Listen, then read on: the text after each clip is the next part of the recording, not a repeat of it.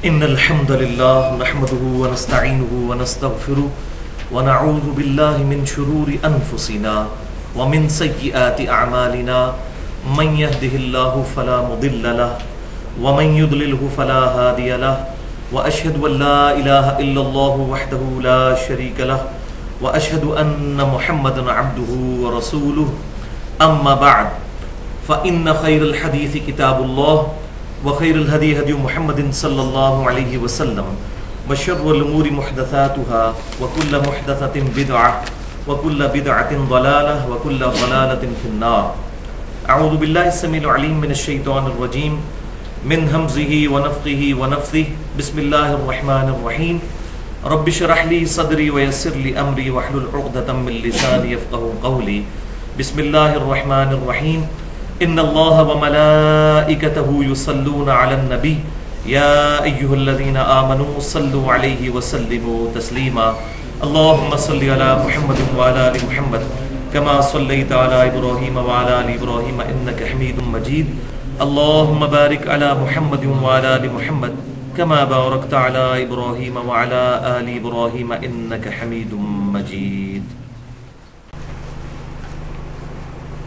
आज Quran class number 99 में 13 अप्रैल 2013 को हफ़्ते के दिन इन ताला, हम अकील हाजिर व नाजिर को इन डिटेल डिस्कस करेंगे, जो फिर सूफिया के यहाँ फनाफी शेख का अकीदा भी आया खसूस हमारे अहल सुन्नत कहलवाने वाले तीनों ग्रोहों में से, पहले नंबर पर बरेलवी मकद फ़िक्र और दूसरे नंबर पर देवबंद।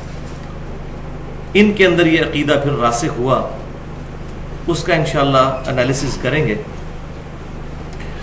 पिछले दो मुसलसल लेक्चर सूरतुल अनाम की आयत नंबर 50 के कॉन्टेक्स्ट में हुए हैं, जो मसला नंबर 6 ए और 6 बी के नाम से अहल सुन्नत पाक डॉट कॉम पर हमारे यूट्यूब के channel seven two double zero eight five के तहत अपलोड हो चुके हैं। वो दो लेक्चर जो थे, उनमें पहला लेक्चर था मसला नंबर सिक्स ए अकीद इल्मगैब से मुतक फ़िरका वाराना नज़रियात का तहकीकी जायज़ा, जो कि 88 मिनट की गुफ्तु थी, और उसके बाद दूसरा लेक्चर था, मसला नंबर सिक्स बी, इल्हाम, कशफ और ख्वाबों की हकीकत से मुतक फ़िरका वाराना नज़रियात का तहकीकी जायज़ा। वो 108 मिनट की गुफ्तु इन के साथ एक और कॉम्प्लीमेंट्री टॉपिक एक जुड़ा हुआ मजमून है। और मैं चाह रहा हूँ कि उसको यहीं पर एड्रेस कर लिया जाए ताकि इस हवाले पर कोई तशनगी बाकी न रहे। और वो टॉपिक है अकीदा हाजिर व नासिर जो हमारे सब कॉन्टिनेंट में इस नाम से जाना जाता है। वैसे पूरी दुनिया के अंदर सूफिया का यह अकीदा सैकड़ों सालों से मौजूद है। ये सिर्फ़ पाकिस्तान, इंडिया और बांग्लादेश का मसला नहीं है, बल्कि पूरी दुनिया के अंदर इवन सूडान के अंदर अलजायर के अंदर फ़लस्तीन के अंदर कोत के अंदर, अरब मुल्कों के अंदर भी ये अकीदा सूफिया के यहाँ पाया जाता है। नबी सल्लल्लाहु अलैहि वसल्लम की मुबारक ज़ात के बारे में भी और अपने बुज़ुर्गों और पीरों के बारे में भी। आज से तकरीबन डेढ़ साल पहले मैंने इस टॉपिक पे 25 मिनट की गुफ्तु की थी, जो मसला नंबर सेवन के नाम से अहल सुन्नत पाक डॉट कॉम पर अपलोड है। लेकिन उस दफ़ा मैंने कैजुअल गुफ्तु की थी। आज मैं इनशाला उसको डिटेल एड्रेस करूँगा। फिर हमारी जो पुरानी गुफ्तु है, उसको हम आज वाली गुफ्तु से रिप्लेस करवा देंगे। और यहाँ ये भी बात याद रखें कि ये जो लेक्चर्स दोबारा से रिकॉर्ड हो रहे हैं, इसका ये मतलब नहीं है कि मैंने कोई मौकफ अपना चेंज कर लिया है। मकसद यह है कि जो चीज़ें इस दौरान फीडबैक के तौर पर मिली हैं, उनको एड्रेस कर दिया जाए। तो हमारी आज की गुफ्तु मसला नंबर सात के नाम से अहल सुन्नत पाक डॉट कॉम पर हमारे यूट्यूब के channel seven two double zero eight five के थ्रू अपलोड होगी और इसका उनवान होगा अकीद हाजिर व नाजिर से मुतक फ़िरका वाराना नज़रियात का तहकीकी जायज़ा। अकीद हाजिर व नाजिर से मुतक फ़िरका वाराना, नज़रियात का तहकीकी जायज़ा, अकीद हाजिर नाजिर से मुतक फ़िरका वाराना, नज़रियात का तहकीकी जायज़ा। इस लेक्चर के शुरू में भी मैं फिर वही गुजारिश कर दूँ कि आज की गुफ्तु भी बड़ी मेहनत के साथ कंपैरेटिव स्टडी करने के बाद इसका मटेरियल तैयार किया गया है और ये इंशाल्लाह अला वजह बसीरत अपने एतबार से एक मुनफरद गुफ्तगु होगी। मैं खुद भी इकतीस साल तक चूँकि बरेलवी रहा और उसके बाद 2008 में जो बंद मकब फ़िक्र के साथ भी कुछ वक्त गुजरा, उसके बाद अहल हदीस के साथ भी और फिर अहल तशैयों के साथ भी।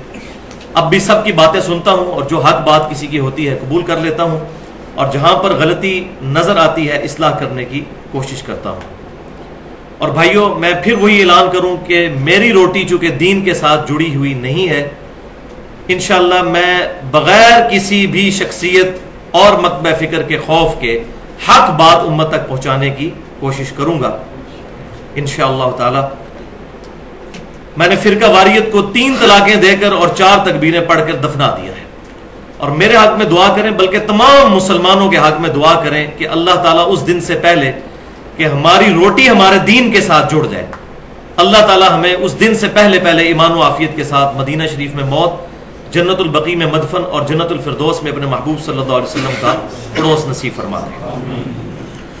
आज के लेक्चर्स में जितनी आयात आनी थी, तकरीबन 12 के करीब आयात हैं जो इंपॉर्टेंट हैं, उनके लिए अलग से आपको एक क्रॉस रेफरेंस के तौर पर पेपर मिल चुका है, उसमें वो 12 की 12 आयात उसी इंटेलेक्चुअल तरतीब के साथ दर्ज हैं। जहाँ तक अहदीस का ताल्लुक है तो सिर्फ़ क्रिटिकल अहदीस के मैं इंटरनेशनल नंबर बता दूँगा। हरमैन और बैरूत की इंटरनेशनल नंबरिंग के मुताबिक, जिसके मुताबिक अरबी नुस्खे जो हैं, अहदीस की किताबों के छपते हैं। और हमारे इस मुल्क पाकिस्तान में भी दारुसलाम पब्लिकेशन उसी के मुताबिक किताबें छापता है। टाइम बचाने के लिए बाकी अहदीस के सिर्फ़ रेफरेंस बताऊँगा कि ये किस किताब से है, बुखारी से है, मुस्लिम से है। नंबर्स नहीं बताऊँगा। फिर भी अगर किसी कोई क्यूरी हो तो लेक्चर के एंड पे मुझसे सवाल कर सकते हैं। और मेरा ईमेल एड्रेस है Mirza underscore ninety five at the rate of Yahoo dot com और ये मैं जो अपना ईमेल बार बार बता रहा हूँ, उसकी वजह यह है कि कुछ बदबक लोगों ने मेरे वीडियोस के ऊपर डबिंग करके और दूसरों की आवाज़ें भर के तो यूट्यूब पे अपलोड की हुई हैं। सिर्फ़ बदनाम करने के लिए। लेकिन अल्हम्दुलिल्लाह, हक बात छुपी नहीं रहती। लोगों को पता है कि ये मेरी आवाज़ है भी है या नहीं। और गुफ्तु के अनुमान से भी पता चल जाता है। आज के लेक्चर में कुल तीन अहम इल्मी पॉइंट्स मैं डिस्कस करूँगा। लेक्चर में इंटरेस्ट के लिए मैं शुरू में ही बता देता हूँ।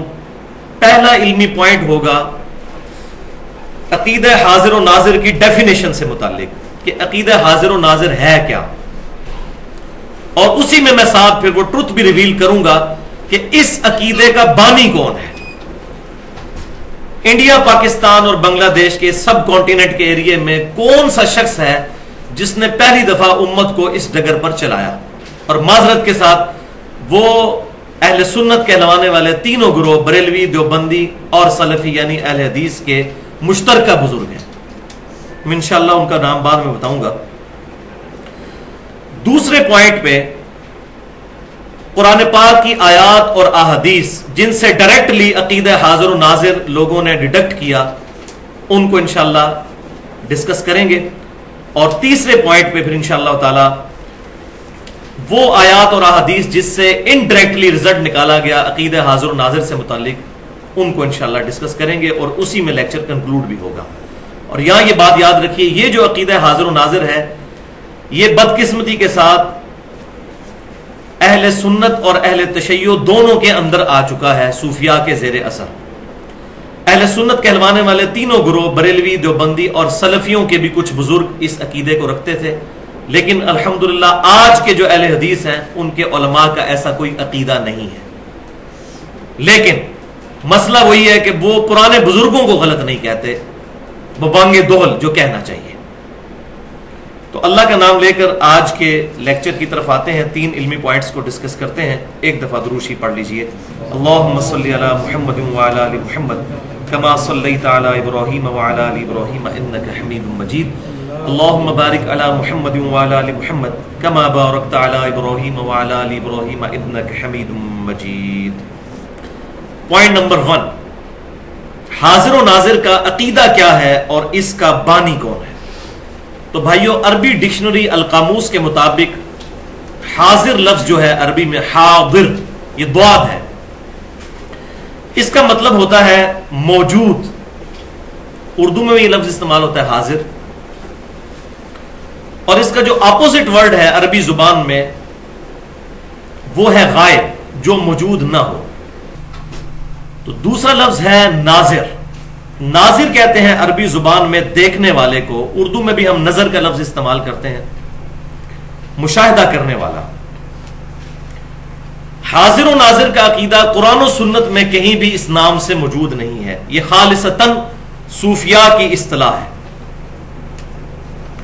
और सूफिया का मानना यह है कि इमाम कायनात सैदिन वल आखिरीन शफ़ीनबीन रहमतुल्लामीन सैदना व मौलाना इमाम आज़म मोहम्मद रसूलुल्लाह वसल्लम जब इस दुनिया में मौजूद थे, उस वक्त भी और इस दुनिया से तशरीफ़ ले जाने के बाद भी, क्यामत तक के लिए पूरी उम्मत के हालात से वाकिफ हैं। और आप सल्लल्लाहु अलैहि वसल्लम का जिसम मुबारक अगरचे मदीना शरीफ की कब्र में है, लेकिन रूहानी तौर पर आप सल्लल्लाहु अलैहि वसल्लम पूरी कायनात के अंदर मौजूद है। और इसमें यहाँ तक इनका अकीदा गया कि आप सल्लल्लाहु अलैहि वसल्लम इस उम्मत से पहले भी जितनी उम्मतें गुजरी हैं, हज़रत आदम सलाम से लेकर नबी सल्लल्लाहु अलैहि वसल्लम तक, उन तमाम उम्मतों पर भी हाजिर नाजिर हैं। तमाम हालात का मुशाहिदा फरमाने वाले हैं। अपनी पैदाइश से पहले और आप सल्लल्लाहु अलैहि वसल्लम की दुनिया से वफात के बाद, और यह अकीदा सिर्फ़ आप सल्लल्लाहु अलैहि वसल्लम तक उन्होंने नहीं रखा बल्कि अपने बुजुर्गान दीन और पीरों और मशाइ के बारे में भी अकीदा रखा, वो मैं आगे बता दूँगा। और ये इतना बड़ा दावा जो है कि आप सल्लल्लाहु अलैहि वसल्लम अपनी पैदाइश से पहले भी उम्मतों पर हाजिर नाजिर थे। ये मोरितानिया के अंदर एक सूफी गुजरे हैं, आज से 200 साल पहले। अहमद बिन मोहम्मद सावी मालकी, उनकी तफसीर है सावी। ये फौत हुए 1223 हिजरी में, आज से तकरीबन 200 साल पहले। सूरतुल कसस की आयत नंबर 44 ता 46 की तफसीर के दौरान उन्होंने ये मौकफ अडॉप्ट किया कि आप सल्लल्लाहु अलैहि वसल्लम अगली उम्मतों पर भी हाजिर नाजिर थे और क्या मत तक हाजिर नाजिर है। इस अकीदे पर उनके जो किताब सुन्नत से दलाइल हैं, उनको इंशाला अगले पॉइंट्स में डिस्कस करेंगे। अब उस कड़वी बात की तरफ़ आए कि इस अकीदे का बानी कौन है? तो भाइयों, अहल सुन्नत कहलवाने वाले तीनों गुरोह इंडिया, पाकिस्तान के अंदर, यानी बरेलवी, देवबंदी और अहल हदीस के भी चंद बड़े उलमा। सब अहल हदीस नहीं, चंद बड़े उलमा। इस शख्सियत को बहुत इज़्ज़त और एहतराम कहते हैं और अपनी किताबों में रहमतुल्लाह अलैह भी लिखते हैं कि इनकी अहदीस के लिए बड़ी खिदमात है। और वो पर्सनैलिटी हैं शाह अब्दुल हक मुहदस देलवी। अल मुतवफ़ा दस सौ बावन हिजरी। आज से तकरीबन चार सौ साल पहले ये गुजरे हैं, जिनको खसूस बरेलवी और देवबंदी मतबा फ़िक्र के ओलमा ख्वा अहमद रजा बरेलवी साहब हों, या रशीद अहमद गंगोई साहब हों, या कासिम ननोतवी साहब हों, या अशरफ अली थानवी साहब हों, या मुफ्ती अहमद यार खान नईमी साहब हों मुहक्क अलल इतलाक उनको कहते हैं। और पाकिस्तान में अहल हदीस मकबा फ़िक्र में से एक बड़े आलिम कि जो चंद बड़े उलमा के उस्ताद हैं, उनमें से एक वो शख्सियत जो सऊदी अरब में भी तबलीग का काम कर रहे हैं, पाकिस्तान की तरफ़ से। और उनके भाई यहाँ पर मुनाजरे करते हैं। इनके मुश्तरका उस्ताद अब्दुल्ला भावलपुरी साहब जो फौत हो चुके हैं, उन्होंने अपनी किताबों में और खुतबात में अब्दुल हक मुहदस दिलवी को बड़े तारीफी कलेमात के साथ और रहमतुल्लाह लिखा है। लेकिन ये इंसाफ की बात है कि ये उनका जो पॉइंट ऑफ़ व्यू है वो जाती है। लेकिन जुल्म ये है कि जो लोग अहमद रजा बरेलवी साहब को या रशीद अहमद गंगोई और अशरफ अली थानवी साहब को अपने लेक्चर्स के अंदर गलत साबित करते हैं, वहाँ उनको ये नहीं भूलना चाहिए कि अब्दुल्ला भावलपुरी साहब भी अब्दुल्ला मोहदस दिलवी को रहमत कहते रहे उनका रद्द भी करना चाहिए, यही इंसाफ का तकाजा है, वरना ये दोगली पॉलिसी है। तो भाइयों, अब्दुल हक मोहदस देलवी जो है, इनकी एक मशहूर किताब है जो मार्केट में अवेलेबल है मदारजुन नबुआ उर्दू ज़ुबान में ट्रांसलेशन हो चुकी है, आम मिल जाती है। उसकी जिल्द एक, सफ़ा 135 और पाँचवें चैप्टर में, जिसका नाम है ज़िक्र फजाइल आ हज़रत सल्लल्लाहु वसल्लम, उसमें उन्होंने किताबों सुन्नत के दलाइल के बगैर ये अकीदा उम्मत के अंदर इंजेक्ट कर दिया। टूटी फूटी फॉर्म में सूफिया के यहाँ यह अकीदा पाया जाता था, लेकिन इसको लीगलाइज किया जिस बंदे ने, वो अब्दुल मुहद से दिल भी है। तो ये मदारजुल नबुआ का मैंने हवाला दे दिया, उसमें अब्दुल्ला मुहद से दिल भी साहब क्या लिखते हैं? ये वही बाज बुज़ुर्ग फरमाते हैं, हजरात फरमाते हैं, उसी तरह शुरू किया। बाज आरफीन फरमाते हैं कि नमाज़ में अयुहन नबीयू का खिताब इसलिए है कि हकीकत मोहम्मदिया सल्लल्लाहु अलैहि वसल्लम मौजूदात और मुमकनात के जर्रे जर्रे में मौजूद है। ये अक्सर कहते हैं जो बरेलवियों का अकीदा है जी, नबी वसल्लम जर्रे जर्रे में मौजूद है। ये बरेलवियों का खाली अकीदा नहीं है। बरेलवी, देवबंदी और चंद अहले हदीसों के बुज़ुर्ग, शाह अब्दुल हक मुहद से देलवी अलमुतवफ़ा दस सौ बावन हिजरी, ये उनका अकीदा है। ये अयो नबियों के अकीदे को जो इन्होंने तोड़ मोड़ कर पेश किया और आधी हदीस पेश की, बुखारी और मुस्लिम की, वो मैं बाद में एड्रेस करता हूँ। फ़िलहाल इसको सुनते जाएँ।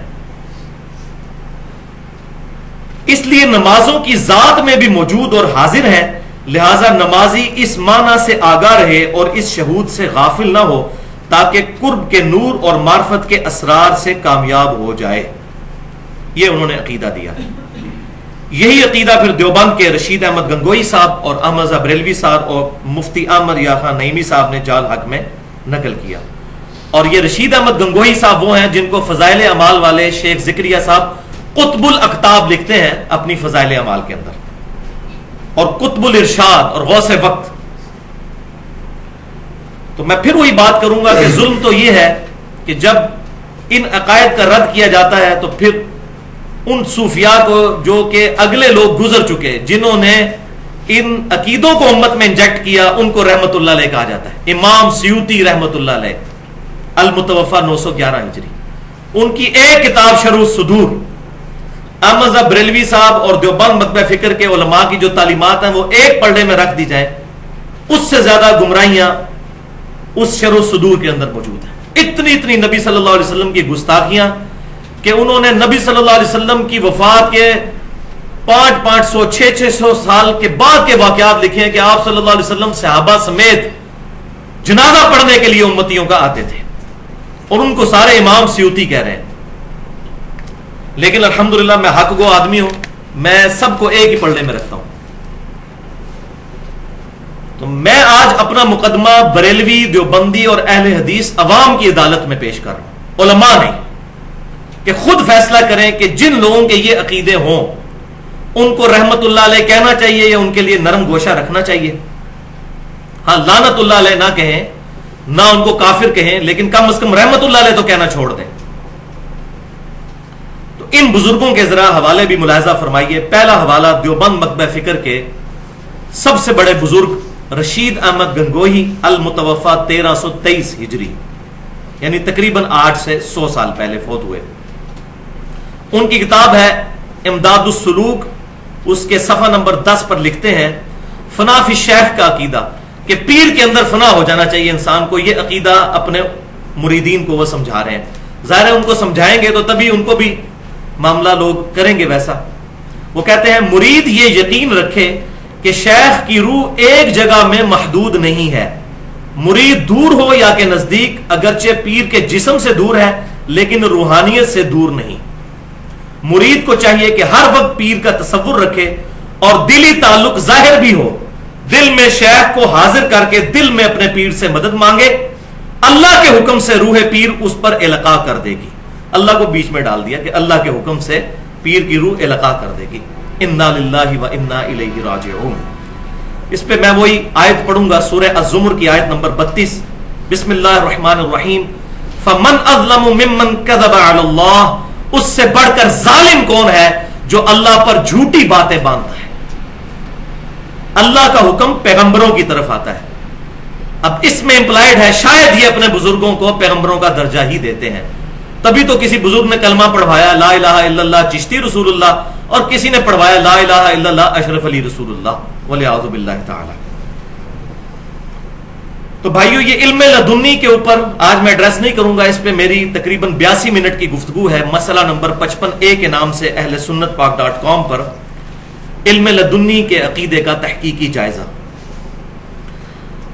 अब अहमद रजा बरेलवी साहब अल मुतबफा तेरह सौ चालीस हिजरी। ये भी तकरीबन सौ साल पहले, उन्नीस सौ इक्कीस में फौत हुए। वो आपको पता है खुले डुले इंसान थे और कोई लिहाज नहीं करते थे आउट स्पोकन थे। जिस तरह मैं भी आउट स्पोकन हूँ। तो उन्होंने मजीद खोल के बताया कि फनाफी शेख का कीदा क्या होना चाहिए। इससे आपको मजीद खुल जाएगा। उनके मलफुजात, उनके अपने बेटे ने जमा किए। मुस्तफ़ा रजा खान नूरी साहब, जिनको मुफ्ती आज़म इंडिया भी कहा जाता था, उन्नीस सन इक्यासी में मुफौत हुए। जिनकी वो मशहूर नात है, तू शम रिसालत है, आलम तेरा परवाना। ये उनके बेटे थे। इन्होंने अपने वालिद के मलफूजात खुद जमा किए हैं। लिहाजा वो जो एक थोक के हिसाब से उसने जन हमने रखा होता है कि जी पुराने बुज़ुर्गों की किताबें चेंज हो गई हैं, ये उनके कीदे नहीं हो सकते। तो उस हुजन जन को मैं बता रहा हूँ कि वो हुजन जन इतना भी सीधा नहीं है। अपने बेटे ने मलफूजात जमा किए। हमारे जेलम शहर से भी बुक कार्नर ने छापे हैं। उसका पेज नंबर है एक सौ बावन और हिस्सा है दूसरा। और ये मलफूजात आला हज़रत डॉट नेट एक वेबसाइट है बरेली की। खुद उनकी अपनी जो लड़ी आगे चल रही है, उनकी अपनी वेबसाइट, उस पर भी इसकी सॉफ्ट कॉपीज रखी हुई है। कोई चेंज नहीं है जो मैं पढ़ने लगा हूँ। फनाफी शेख के मरतबे के बारे में उनसे पूछा गया कि बताइए ये शेख का तस्वुर कैसे किया जाएगा? तो फरमाते हैं, इरशाद, ये ख्याल रहे कि मेरा शेख मेरे सामने है और मेरे कल्ब को और अपने कल्ब को उसके कल्ब के नीचे तस्वुर करके समझे कि सरकार सल्लल्लाहु अलैहि वसल्लम के कल्ब अनवर से अनवारात छलक कर मेरे शेख के कल्ब पर और वहाँ से मेरे दिल पर आ रहे हैं। ये सारी थोरेटिकल बातें आप देख लें। फिर कुछ अरसा बाद ये हालत हो जाएगी कि शजरो हजर, यानी दरख्तों में और पत्थरों में, हत्या के दीवारों पर भी शेख की सूरत नज़र आएगी। वो कहते हैं, हर जगह आपको शेख फिर नज़र आना शुरू हो जाएँगे। यहाँ तक के नमाज़ में भी जुदा नहीं होगी। फिर हर हाल में अपने साथ ही पाओगे। फिर उन्होंने मजीद तसली दिलवाने के लिए एक वाक्य भी साथ बयान किया कि मैं आपको मजीद समझाता हूँ कि फनाफी शेख का कीदा क्या होता है। वो कहते हैं कि सैयद अब्दुल अज़ीज़ दब्बाख ये वो सूफी हैं जो देवबंद और बरेलियों के मुश्तर बुज़ुर्ग हैं। उनके एक मुरीद थे सैयदी अहमद। उनकी दो बीवियाँ थी। अब मुझे शर्म आ रही है वाक्य भी बयान करते हुए। तो फरमाया अपने मुरीद से कि तुमने रात को एक बीवी के जागते हुए दूसरी बीवी के साथ क्यों हम बिस्तरी की? ऐसे मत किया करो। अर्ज़ किया, हुजूर, वो तो सो रही थी। फरमाया, नहीं, सोती ना थी, जाग रही थी। हुजूर ने पता नहीं केड़ा कैमरा फिट किए हैं। अर्ज़ किया, हुजूर, आपको कैसे इल्म हुआ? फरमाया, वहाँ पर साथ एक पलंग रखा हुआ था। यानी वो जो बीवी जाग रही थी, उसके साथ कोई पलंग था। उसने कहा, हाँ फरमाया, मैंने वहीं तो पूरी रात गुजारी है रूहानी तौर पर। शेख मुरीद के साथ हर वक्त साथ होता है और ये एहसास रखो कि पीर कभी अपने मुरीद से जुदा नहीं होता। राजिऊन। इसमें मैं सूरतुल बकरा की नंबर एक सौ पैंसठ पढ़ूँगा।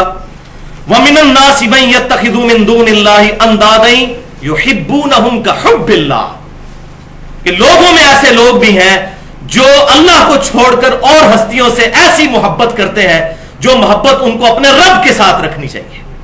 वल्लवीना आमनु अशद और ईमान वाले शदीद तरीन मोहब्बत अपने रब के साथ रखते हैं।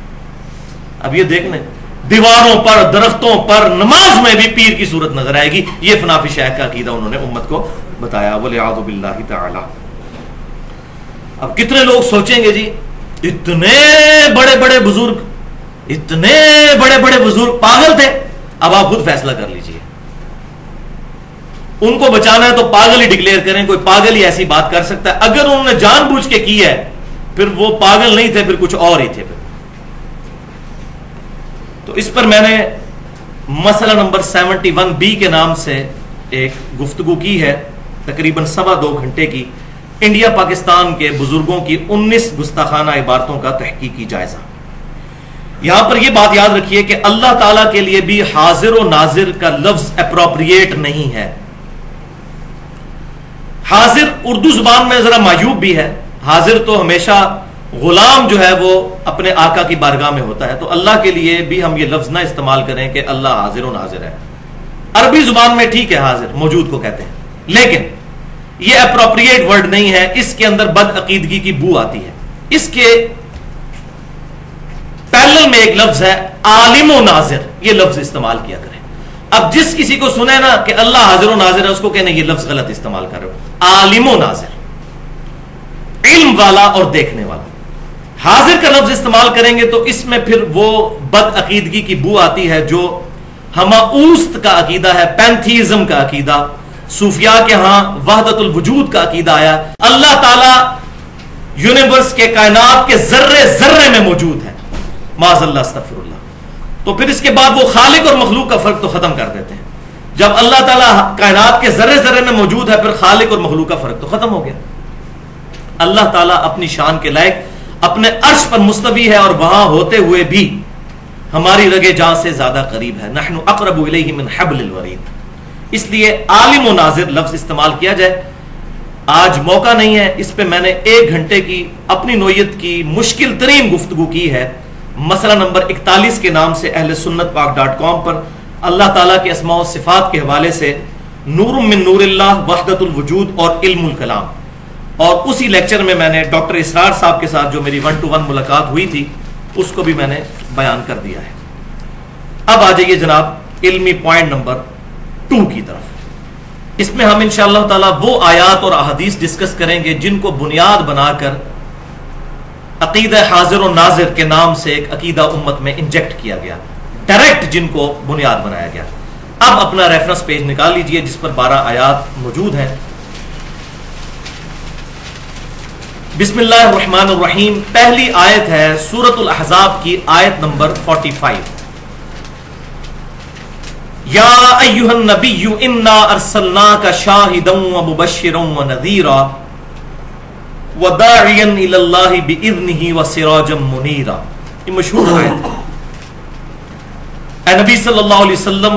बेशक हमने आपको भेजा है गवाह बनाकर खुशखबरी देने वाला और डर सुनाने वाला और अल्लाह ताला की तरफ़ बुलाने वाला और अल्लाह के इजन से चमका देने वाला आफ्ताब। इसमें जो लफ्ज है शाहिद, अरबी ज़ुबान में इसके लिए जो रूट वर्ड है वो है शाहिदा। उसी से शाहिदुन और शहीदुन बनता है, जिसका मतलब है गवाह। जो मौके पर हाजिर हो, देखने वाला हो, और शहीद जो अल्लाह की राह में मारा जाता है, उसको भी शहीद इसलिए कहा जाता है कि वो अपनी जान, अपने रब के हुजूर कुर्बान करके अपने अमल से इस बात की गवाही दे देता है कि जो मेरा यकीन है, उस पर मैं मोहकम तरीके से कायम हूँ। तो अपने अमल से वो गवाही देता है अल्लाह के एक होने की, इसलिए उसको भी शहीद कहा जाता है। कुरान पाक में शहीद का लफ्ज जहाँ भी इस्तेमाल हुआ या शाहिद का लफ्ज तो ये लफ्ज लुगत के मानों में इस्तेमाल नहीं हुआ। इल्ला ये कि चंद एक मौकों के ऊपर। जब दीन की टर्म में इस्तेमाल हुआ तो ये इस्तलाहन इस्तेमाल हुआ। मिसाल के तौर पर, अरबी ज़ुबान में रसूल कहते हैं पैगाम लाने वाले को। पोस्टमैन और डाकिए के लिए भी अरबी में रसूल का लफ्ज इस्तेमाल होता है। अरबी लुगत में। लेकिन दीन की इस तरह में रसूल का मतलब माजल्ला डाकिया नहीं होगा। बल्कि अल्लाह ताला का वो महबूब तरीन बंदा जिसको अल्लाह ताला ने नामजद किया है, अपने दीन का पैगाम इंसानियत तक पहुँचाने के लिए।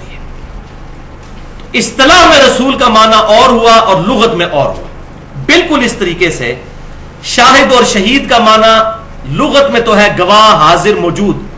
लेकिन इस्लाम की इस्तलाह में इसका माना कुछ और है और वो क्या है? वो अगली आयत पढ़िए। रेफरेंस नंबर टू सूरत निसा आयत नंबर फोर्टी वन बिस्मिल्लाहिर्रहमानिर्रहीम। फकैफा इदा जिना मिन कुल्ली उम्मतिन बिशहीदिन। बस वो वक्त कैसा होगा जबकि हम हर उम्मत में से एक गवाह को उठाएँगे। वह जिना भी का अला शहीदा। और ए महबूब सल्लल्लाहु आपके इन उम्मतियों पर आपको हम गवाह बनाएँगे।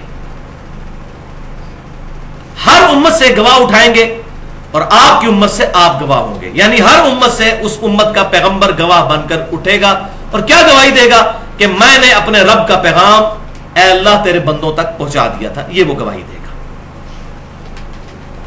तो प्राइमरी तौर पर तमाम अंबिया कराम सलाम शाहिद और शहीद हैं, लेकिन इस उम्मत को यह एजाज हासिल है कि खत्म नबूत सल्लल्लाहु अलैहि वसल्लम की वजह से अल्लाह ताला ने इस उम्मत को भी यह टाइटल दिया है कि यह भी उम्मत शहीद उम्मत है। यह भी उम्मत शाहिद उम्मत है। वो आगे आयात आ जाएँगी। पहले मैं इस आयत के कॉन्टेक्स्ट में, सूरत निसा की आयत नंबर 41 के कॉन्टेक्स्ट में सही बुखारी और सही मुस्लिम की एक हदीस है, वो बयान कर दूँ।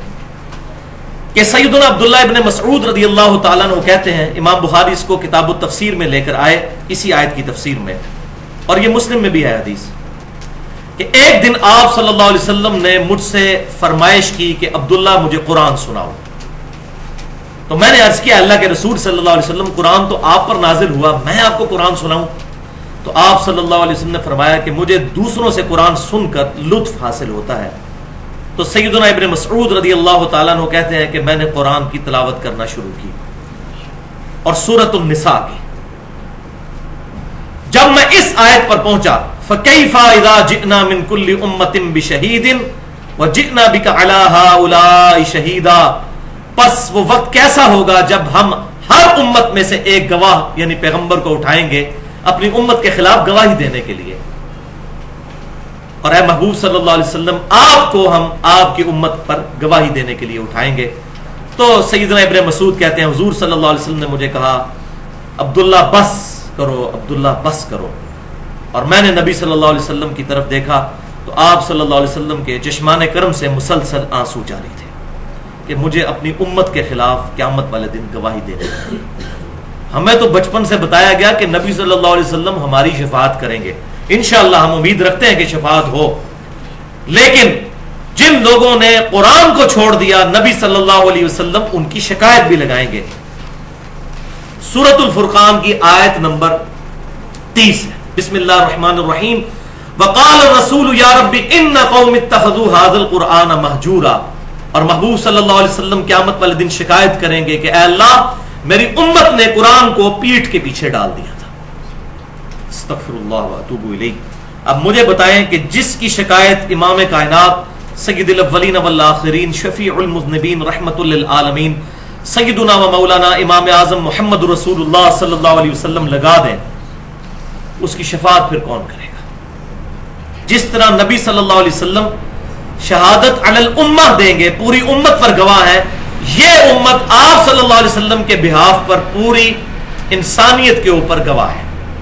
और उसका ज़िक्र आया है सूरतुल बकरा की आयत नंबर 143 में, जो आपके रेफरेंस पर तीसरी आयत है। तो जो हम पहली आयत पढ़ चुके इन्ना सन्ना का शाहिदों अब मशरम व नदीरा वो एक मौका है जहाँ पर अहमद रजा बरेलवी साहब ने तर्जुमा किया कि, ए नबी सल्लल्लाहु अलैहि वसल्लम, हमने आपको हाजिर नाजिर बनाकर भेजा। शाहिद का तर्जमा उन्होंने लुगत वाला किया। तर्जमा बिल्कुल ठीक है। शाहिद का लुगत में तर्जमा करेंगे तो बिल्कुल ठीक है। फिर अगर यही माना जाएगा, फिर जहाँ जहाँ नबी सल्लल्लाहु अलैहि वसल्लम या किसी और पैगंबर के लिए रसूल का लफ्ज आया, फिर वहाँ वहाँ डाकिया और पोस्टमैन भी तर्जमा किया जा सकता है। माजल्ला लुगत के एतबार से। लेकिन कुरान में इस्तलाह चल रही है। इस्तलाह में तर्जमा उनका गलत है और कुरान अपनी हिफाजत खुद करता है। अब जो आयात दो आने लगी हैं, वहाँ पर अहमद ब्रेलवी साहब ने भी तर्जमा ठीक कर दिया। और इसलिए तर्जमा ठीक कर दिया कि यहाँ पर अगर ये तर्जमा वो ना करते तो पूरी उम्मत को हाजिर नाजिर मानना पड़ जाता। तो कुरान अपनी हिफाजत करता है। इसीलिए मैं कहता हूँ, तर्जमा किसी का मर्ज़ी पढ़ लें। इंशाला ताला, कुरान हदायत के लिए काफ़ी है। किसी ने दो नंबरी बी की तर्जमे में, कहीं ना कहीं डंडी उसकी पकड़ी जाएगी। अब ये दो आयात वो हैं जिन पर अहमद साहब ने भी शहीद का और शाहिद का और शहदा का तर्जुमा हाजिर नाजर नहीं, बल्कि गवाह किया है। तो उन्होंने खुद ही अपनी वायलेशन कर दी। सूरत बकरा, आयत नंबर 143 बिस्मिल्लाह रहमान रहीम वकदाली का वसता। और ए उम्मत मोहम्मदिया सल्लल्लाहु हमने तुम्हें बनाया है एक मोतदिल उम्मत। लितकूनु शुहदा नास। ताकि तुम लोगों पर अल्लाह के गवाह बनकर खड़े हो जाओ अल्लाह की गवाही देने के लिए। वयकून रसूल अलैकुम शहीदा। और रसूलुल्लाह सल्लल्लाहु अलैहि वसल्लम तुम पर गवाह बने। वो तुम तक दीन का पैगाम पहुंचाएँगे, अल्लाह की गवाही देंगे और तुम तस्दीक करने के बाद पूरी इंसानियत तक ये पैगाम पहुंचाओगे। और ये मैं अपनी तरफ़ से तशरी नहीं कर रहा, बुखारी और मुस्लिम में दो हदीसें मौजूद हैं इसकी तशरी में। मैं वो बयान करता हूँ। इसी तरह आयत सूरतुल हज की आयत नंबर 78 जो रेफरेंस पे चार नंबर है। इस आयत में भी अहमद बरेलवी साहब ने हाजिर नाजर तर्जुमा नहीं किया, बल्कि गवाही तर्जुमा किया। मिल्लत अबीकुम इब्राहिम, पैरवी करो इब्राहिम सलाम जो तुम्हारे बाप थे उनके दीन की। वह सम्माकुमुल मुस्लिमीन, जिन्होंने तुम्हारा नाम मुसलमान रखा था। ये कुरान में वायद मौका है, जहाँ पर मुस्लिम का लफ्ज सिफ्त के तौर पर नहीं, इसम के तौर पर आया है। और इसी के तहत मैं कहता हूँ, हमें मुस्लिम मुसलमान अपने आप को कहना चाहिए, फिरका वारियत से बालातर होकर मिन कबलू, इस कुरान के नजूल से पहले वफी हादा, और इस कुरान में भी अल्लाह ने तुम्हारा नाम मुस्लिम रखा है। लियकून और रसूल शहीदन अलैकुम, ताकि रसूलुल्लाह तुम पर गवाह बने, व तकून शुहदास और तुम लोगों पर गवाह बनकर खड़े हो जाओ अल्लाह के। तो ये शहादत अलन्नास इसके कॉन्टेक्स्ट में दो अहदीस, बड़ी क्रिटिकल है। पहली हदीस सही बुखारी और सही मुस्लिम की। मुतफकुन हदीस है। बुखारी में इंटरनेशनल नंबर है चार हज़ार चार सौ छह और मुस्लिम का इंटरनेशनल नंबर है चार हज़ार तीन सौ तिरासी। ये यौम नहर का खुतबा है आप सल्लल्लाहु अलैहि वसल्लम का। यानी वफात से ढाई महीने पहले दस उल हिज्जा को कुर्बानी वाले दिन आप सल्लल्लाहु अलैहि वसल्लम ने दस हिजरी में यह खुतबा दिया। एक हजतुल विदा का खुतबा है।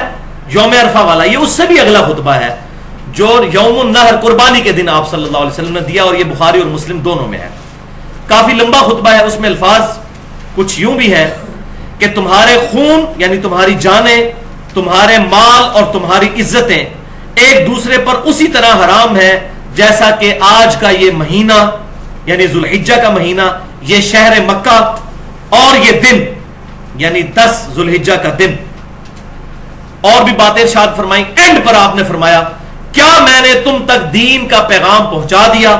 सबने बायक ज़ुबान कहा, बला या रसूल या रसूल सल्लल्लाहु अलैहि वसल्लम, आपने पहुँचा दिया। फिर आप सल्लल्लाहु अलैहि वसल्लम ने अल्लाह तबारक वाली को गवाह बनाते हुए कहा, ए अल्लाह, गवाह रहना। और सही मुस्लिम में जो हजतुल वदा का खुतबा है 2950 नंबर हदीस, किताबुल हज चैप्टर में उसमें यह अल्फाज है कि तीन दफ़ा आप सल्लल्लाहु अलैहि वसल्लम ने अपनी मुबारक उंगली आसमान की तरफ़ बुलंद की और फिर सहाबा की तरफ़। ए अल्लाह गवाह रहना, ए अल्लाह गवाह रहना, ए अल्लाह गवाह रहना। कि ये मान रहे हैं, कल को मुकर ना जाए। जैसा कि अगली हदीस में आ जाएगा कि नू अलैहिस्सलाम के उम्मती मुकर जाएँगे कि हमारे नबी ने तो हमारे तक पैगाम ही नहीं पहुँचाया था। फिर आप सल्लल्लाहु अलैहि वसल्लम के बुखारी और मुस्लिम के अल्फाज हैं योमुन नहर के खुतबे के, फल युबल शाहिदुल बस अब जो यहाँ मौजूद है, वो ये पैगाम उस तक पहुँचा दे जो यहाँ पर मौजूद नहीं है। ये वही लफ्ज शाहिद का। कि अब मेरे बिहाफ पर तुम गवाह बनकर अल्लाह के खड़े हो जाओ। यानी मैं तो दुनिया से जाने वाला हूँ। अब खत्म नबूत की वजह से यह दावत का काम इस उम्मत ने करना है। शहादत अलन्नास इसको उठा के कहाँ पर हाजिर नाजिर और कहाँ पर जाकर फनाफी शेख का अकीदा, ज़मीन और आसमान से भी ज़्यादा बड़ा फ़र्क मौजूद है। अब यह चीज़ें उम्मत को पता नहीं जो कि थी।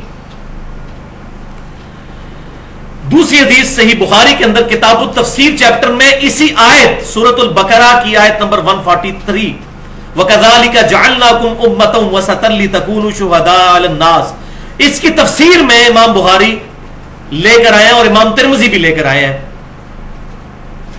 कि क्यामत वाले दिन नूह सलाम अल्लाह की बारगाह में जब हाजिर होंगे तो अल्लाह ताला फरमाएगा, ए नूह, क्या आपने मेरा पैगाम अपनी उम्मत तक पहुँचा दिया था? तो नूह सलाम कहेंगे, या अल्लाह, पहुँचाया था। फिर उम्मत नूह को बुलाया जाएगा अलैहिस्सलाम उनसे पूछा जाएगा। तो उम्मत कहेगी कि कोई नहीं पैगाम पहुँचाया। अगर ये कह रहे हैं कि पैगाम पहुँचाया तो अपना गवाह पेश करें। तो नू सलाम से गवाह मांगा जाएगा। तो नू सलाम कहेंगे कि अल्लाह, उम्मत मुहम्मदिया इस बात पर गवाह है कि मैंने अपनी उम्मत तक तेरा पैगाम पहुँचाया था। तो पूरी उम्मत फिर हाजिर नाजिर हो गई ना? क्योंकि नूल इस्लाम ने इस उम्मत को गवाह बनाया। अगर गवाह का माना वही है जो कि अहमजा बरेलवी साहब और रशीद अहमद गंगोई साहब ने लिया और अब्दुल हक मोहद से दिलवी साहब ने लिया। तो फिर आप भी हाजिर नाजर है जनाब, मसला ही खत्म हो गया फिर तो। ये सारे हाजिर नाजर हुए फिर। उम्मत गवाह है। हमें तो पता है, हम कोई हाजिर नाजर नहीं, हमने तो नूल इस्लाम को कोई नहीं देखा हुआ। गवाही किस बुनियाद पर होगी? इस किताब की बुनियाद सूर्य नूह के अंदर मौजूद है कि नू सलाम ने अपनी उम्मत तक अपना पैगाम पहुँचाया था। और बड़ी दर्दनाक सूरत है, यकीन करें अखबार आँखों से पड़ने वाली। अल्लाह, मैंने इनको दिन को भी बुलाया, मैंने इनको रात को भी बुलाया। हर मौके पर मैंने इन्हें बुलाया, लेकिन इनके फरार में इजाफा ही हुआ। और फिर आखिर में दुआएँ जरर फरमा दी उन्होंने। और उम्मत हलाक हुई। सवाए अठहत्तर लोगों के, साढ़े नौ सौ साल मेहनत करके भी सिर्फ़ अठहत्तर लोग ईमान लेकर आए नू सलाम पर। तो अल्लाह उम्मत मोहम्मदिया गवाह है। फिर आप सल्लल्लाहु हैं कि तुम गवाही दोगे नू सलाम के हक पे, और मैं तुम्हारे हक में गवाही दूँगा कि तुम्हारी बात दुरुस्त है। किस बुनियाद के ऊपर? किताबुल्लाह की बुनियाद पर। हमें तो आप सल्लल्लाहु अलैहि वसल्लम पर इस वही के नजूल से पहले हम तक तो ये बात नहीं थी कि नू सलाम नाम का कोई इंसान भी दुनिया में आया या नहीं। तो लिहाजा हम हाजिर और नाजिर नहीं, बल्कि अल्लाह के लिए गवाही देने वाले हैं। इसके बाद तो वैसे लेक्चर आगे चलाने की ज़रूरत ही कोई नहीं है। लेकिन शैतान ने इतने बसवसे फैलाए हुए हैं उन वो फिर कह देते नहीं ये पॉइंट तो छोड़ दिया था बीच में। वरना आम सलीमुल फितरत, बरेलवी, देवबंदी, अहले दीस और अहले तशैयों के लिए इतनी गुफ्तगु के बाद ही उसके उलमा की दो नंबरी उस पर खुल जाएगी। इन लेकिन अफसोस कि वही बात फिर इस सब कॉन्टिनेंट में दो बड़े बड़े बुज़ुर्ग जिनको बरेलवी, देवबंदी और बाज अहले हदीस भी बहुत बड़ा बुज़ुर्ग मानते हैं, पहले नंबर वाले को तो ज़रूर मानते हैं, वो है शाह अब्दुल अज़ीज़ मुहदस देलवी अलमुतवफ़ा बारह सौ उनतालीस हिजरी, आज से तकरीबन 200 साल पहले। उन्होंने तफसीर अजीजी में और दूसरे देवबंद के पहले बुज़ुर्ग, बड़े बुज़ुर्ग अलामा शबीर अहमद उस्मानी साहब, जिन्होंने मोहम्मद अली जिना का जनाजा भी पढ़ाया था। उन्होंने तफसीर उस्मानी में और ये फौत हुए तेरह सौ उनहत्तर हिजरी में। इन दोनों ने तफसीर, ये सूरत बकरा की, मैंने तफसीर की सही बुखारी से। इन्होंने खुद से तफसीर की और इन्होंने कहा कि आप सल्लल्लाहु अलैहि वसल्लम उम्मत पर गवाह है, क्योंकि पूरी उम्मत के नाम माल आप सल्लल्लाहु अलैहि वसल्लम की कब्र अनवर में आप सल्लल्लाहु अलैहि वसल्लम पर पेश किए जाते हैं। इसलिए उम्मत की गवाही देंगे।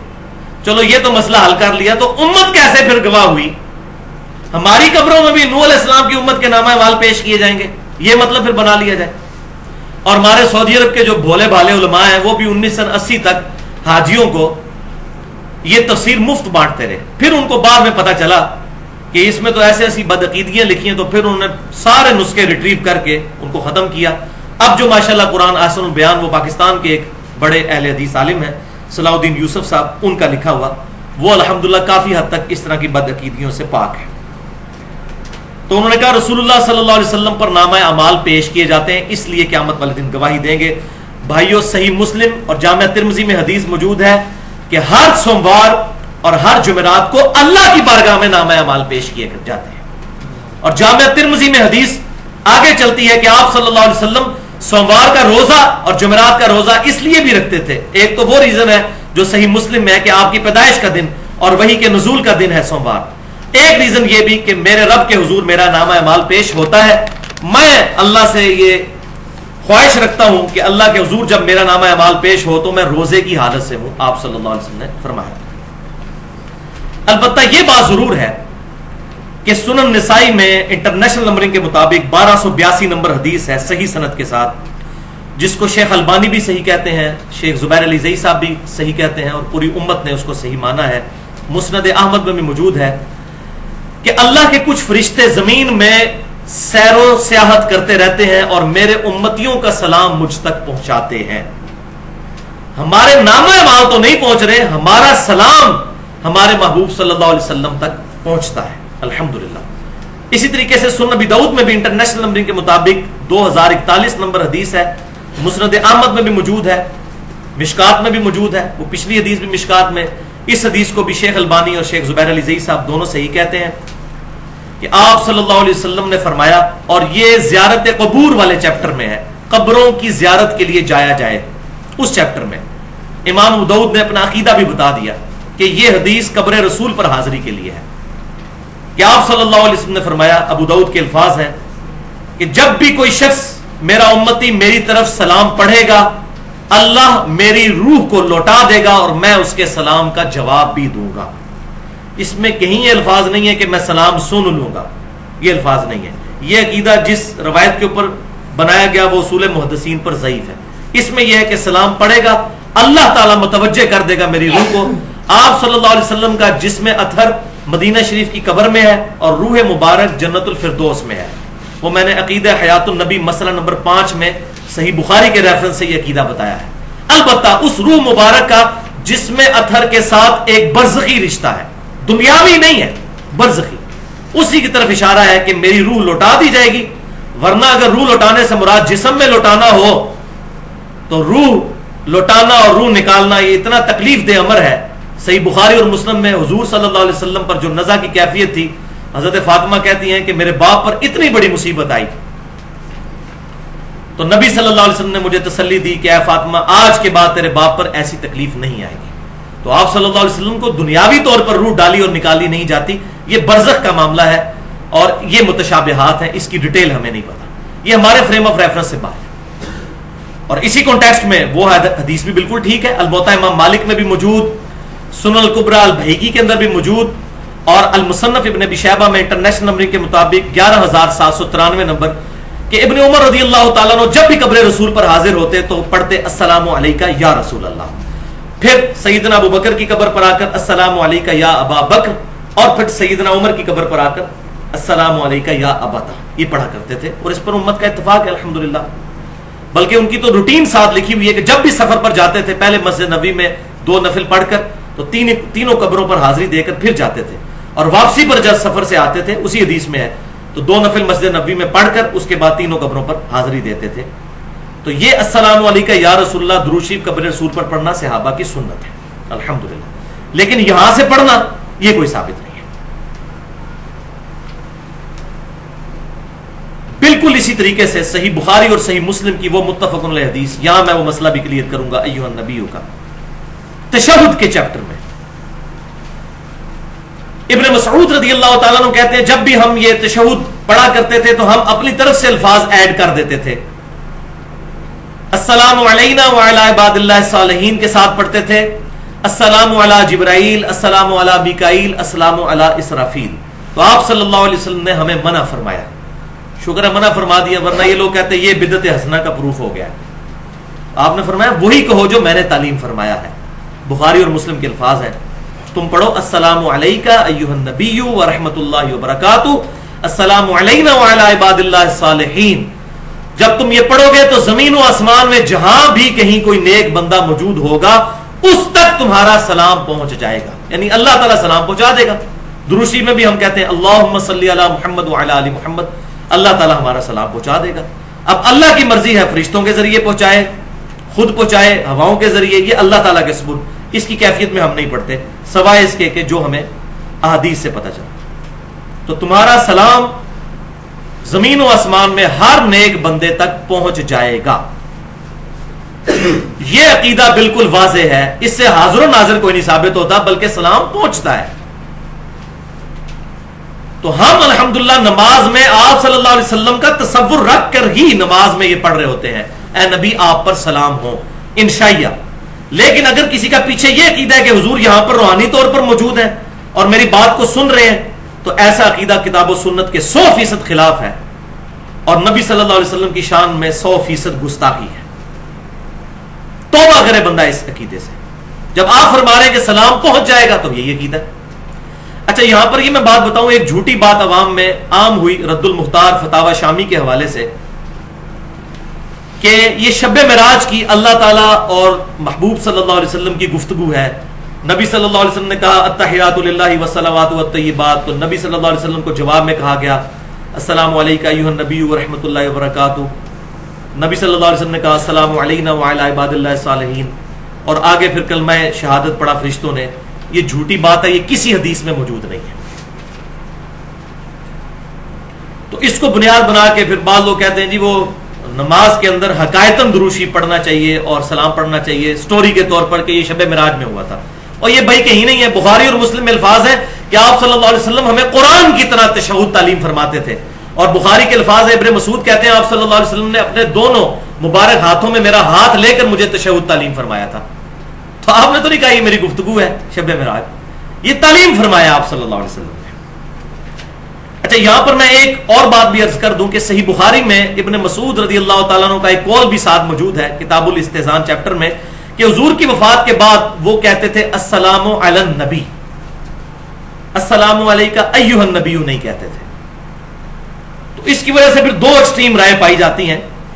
मैं इसमें जो हक बात है वो करूँ कि असलाम नबी सैदना इबन मसूद रदी अल्लाह तु का यह कौल शाज है, क्योंकि उम्मत ने इस कौल को एक्सेप्ट ही नहीं किया। उम्मत का इजमा जो है, वो असलाम का अयुहन नबीयों पर है। कि यही कलमात पढ़ने हैं, इनको बदलना नहीं है। तो इबन मसूद रदी अल्लाह तु ने जो बदला तो ये उनका जाती अमल है। वो तो मोजतैन को भी कुरान का हिस्सा नहीं मानते थे। लेकिन उम्मत का इजमा है कि मोजतैन जो है कुलाउबिल फलक और कुलाउबिनास कुरान का हिस्सा है। तो किसी भी सिहाबी की इंडिविजुअल राय हुज्जत नहीं है। इजमा सिहाबा का हुज्जत है। और इंडिविजुअल राय भी हुज्जत हो सकती है, अगर मुखालफत ना पाई जाती हो। तो चूँकि पूरी उम्मत ने अयोहन नबियों को एक्सेप्ट किया, लिहाजा यह कौल शाज हो जाएगा, इबन मसूद रज़ी अल्लाह तहो का इजमा हुज्जत है और इस पर मेरी 50 मिनट की गुफ्तगु है तकरीबन। मसला नंबर 31 के नाम से इजमा की हुज्जियत और उसकी सत्रह मिसालें। तो ये मैंने अलम नबी वाला मसला भी क्लियर कर दिया। और ये अकलम भी गलत है, उसकी वजह यह है कि नबी वसल्लम जब दुनिया में मौजूद थे तो उस वक्त भी मुसलमान दुनिया के कई शहरों में फैले हुए थे। हजूर तो मदीना शरीफ में थे तो क्या मक्के वाले सहाबा अलम नबी पढ़ते थे? वो तो अयो नबी ही पढ़ते थे।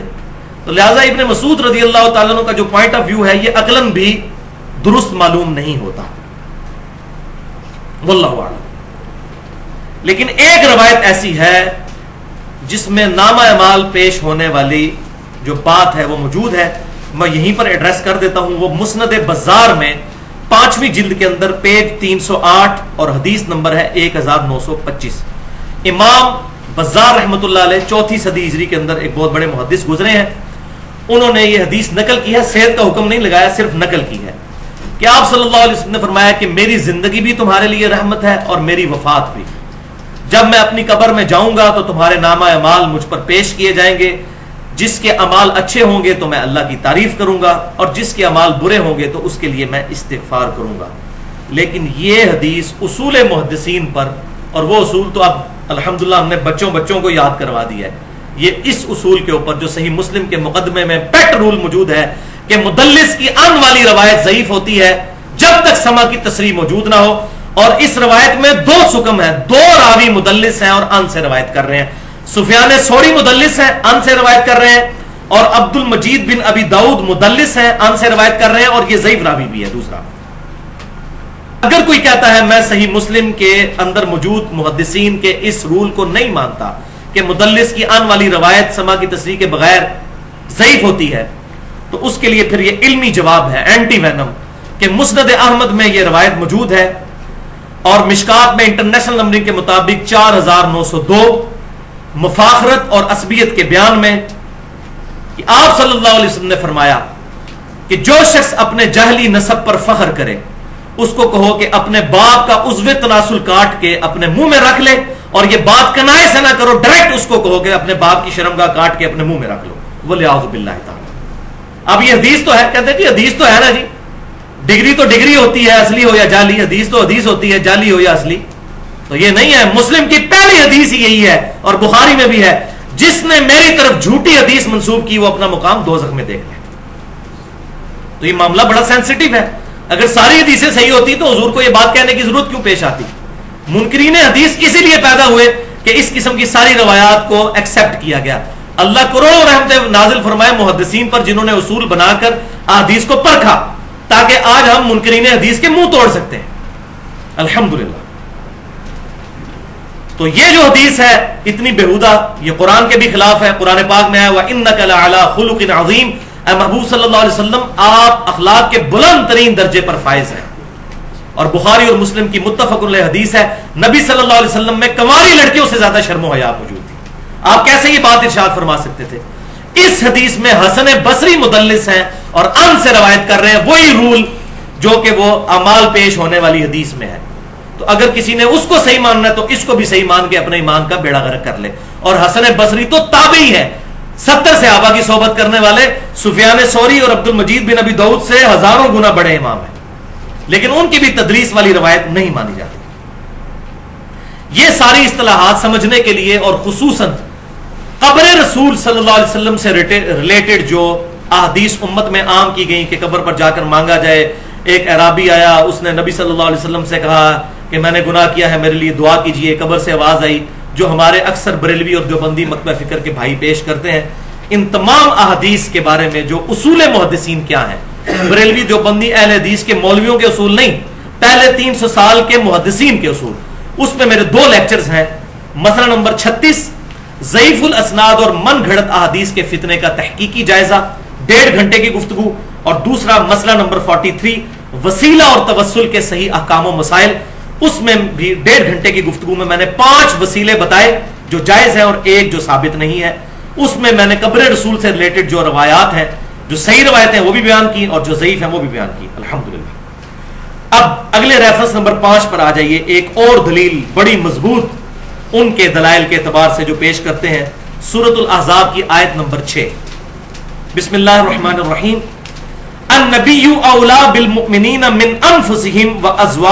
उम्महातुहुम हमारे ये नबी सल्लल्लाहु अलैहि वसल्लम मोमिनीन की जानों से ज़्यादा उन पर हक रखते हैं और इनकी बीवियाँ उम्मत की माए हैं। अल्हम्दुलिल्लाह। अब इसको दलील बनाया कासम ननोतवी साहब ने भी और अहमद बरेलवी साहब ने भी हाजरो नाजर के अकीदे पर।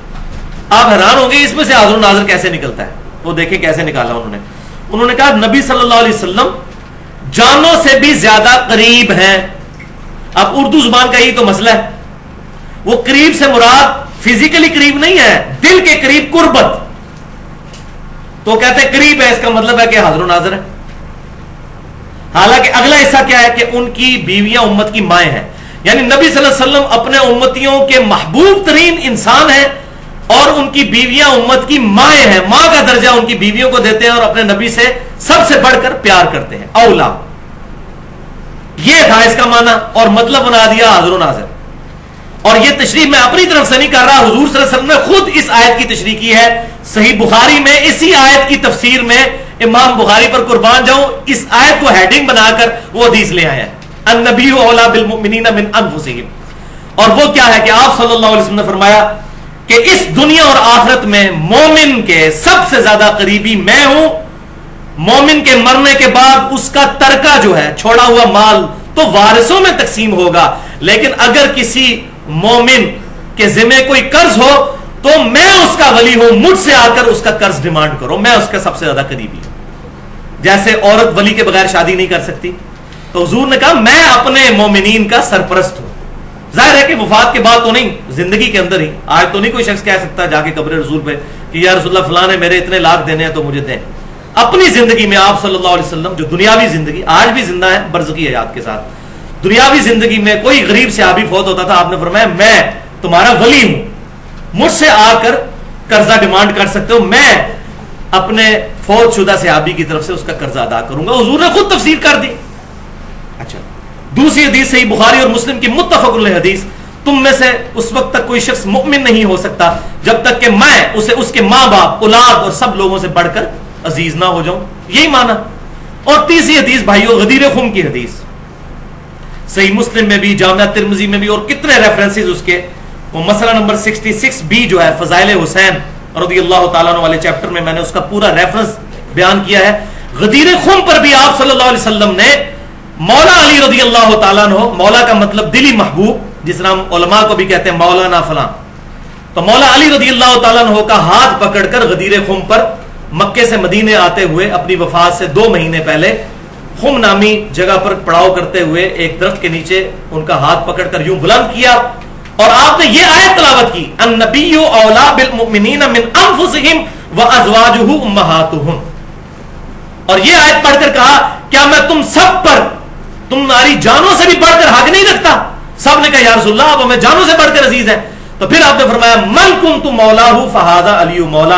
अब जो कोई मुझे महबूब रखता है दिली तौर पर, वो अली से भी मोहब्बत करेगा। यहाँ भी क्लियर हो गया कि ये औला, मौला का मतलब क्या है? दिली तौर पर करीब होना, ना कि हाजिर नाजिर का अकीदा। इसी तरह एक और दलील जो सूरत की आयत नंबर 33 है, यकीन करें, ये भी दलाइल बयान करते हुए आयात पढ़ते हुए नहीं, जो दलील है इनकी, इन्होंने खुद डिडक्ट की, शर्म आती है। आयात तो अपनी हिफाजत खुद करती है।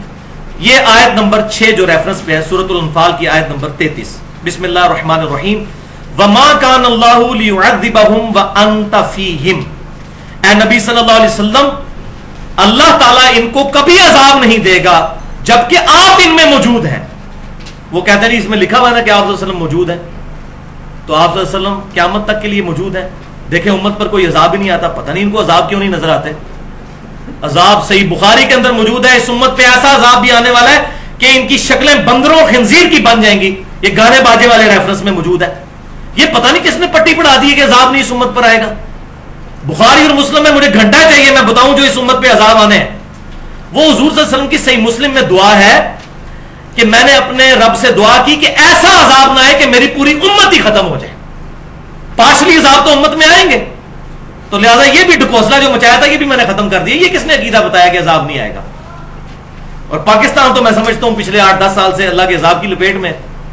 क्योंकि ये वो मुल्क था जो इस्लाम के नाम पर बना था, लेकिन यहाँ पर इस्लाम का नफाज हमने नहीं किया। अभी पता नहीं कितना इम्तिहान हमारा बाकी है। तो ए नबी सल्लल्लाहु अलैहि वसल्लम, जब तक आप इनमें मौजूद हैं, अल्लाह इनको अजाब नहीं देगा। इससे पिछली आयत पढ़ते नहीं है। इससे पिछली जो आयत है, बत्तीस नंबर, उसमें यह है कि अबू जहल और उसके मानने वाले कहते थे अल्लाह, अगर ये कुरान वाकई तेरी किताब है और ये नबी पर हक है तो आसमान से हम पर अजाब क्यों नहीं नाजिल हो जाता? हम तेरे कुरान और नबी को झुटला रहे हैं, हम पर पत्थर क्यों नहीं नाजिल होते? इस जुर्म की पदाश में कि हम तेरे नबी को नहीं मान रहे तो उससे अगली आयत यह है, वमा कान अल्लाहम नबी, जब तक आप मक्के में मौजूद है, हम इन पर अजाब कैसे भेजें? हमारी तो सुन्नत यह है कि जब कभी भी काफरों पर अजाब भेजना होता है तो ईमान वालों को उस इलाके से निकाल लेते हैं, फिर काफरों पर अजाब आता है। नू सलाम उनके साथियों को कश्ती में सवार किया और बाकियों को गरक किया। मूसा और उनके साथियों को उस इलाके से निकाला और बाकियों को गरक किया। तो आप मक्के में मौजूद है, हम मक्के में अजाब कैसे भेजे? अंदाज़ा करें हाजुर नाजर का इसके साथ क्या ताल्लुक था? लेकिन मुफ्ती अहमद जहाँ नईमी साहब को बिल्कुल कोई अल्लाह की और अल्लाह के महबूब सल्लल्लाहु अलैहि वसल्लम की शर्म नहीं आई, इससे ये रिज़ल्ट निकालते हुए। बोले आजुबिल्ला तो मैं फिर मुफ्ती साहब को फिर वही जवाब दूँगा जो वो अहल हक को देते हैं कि सही बुखारी में, खवारिज वाले चैप्टर में इब्न उमर रदी अल्लाह का कौल मौजूद है।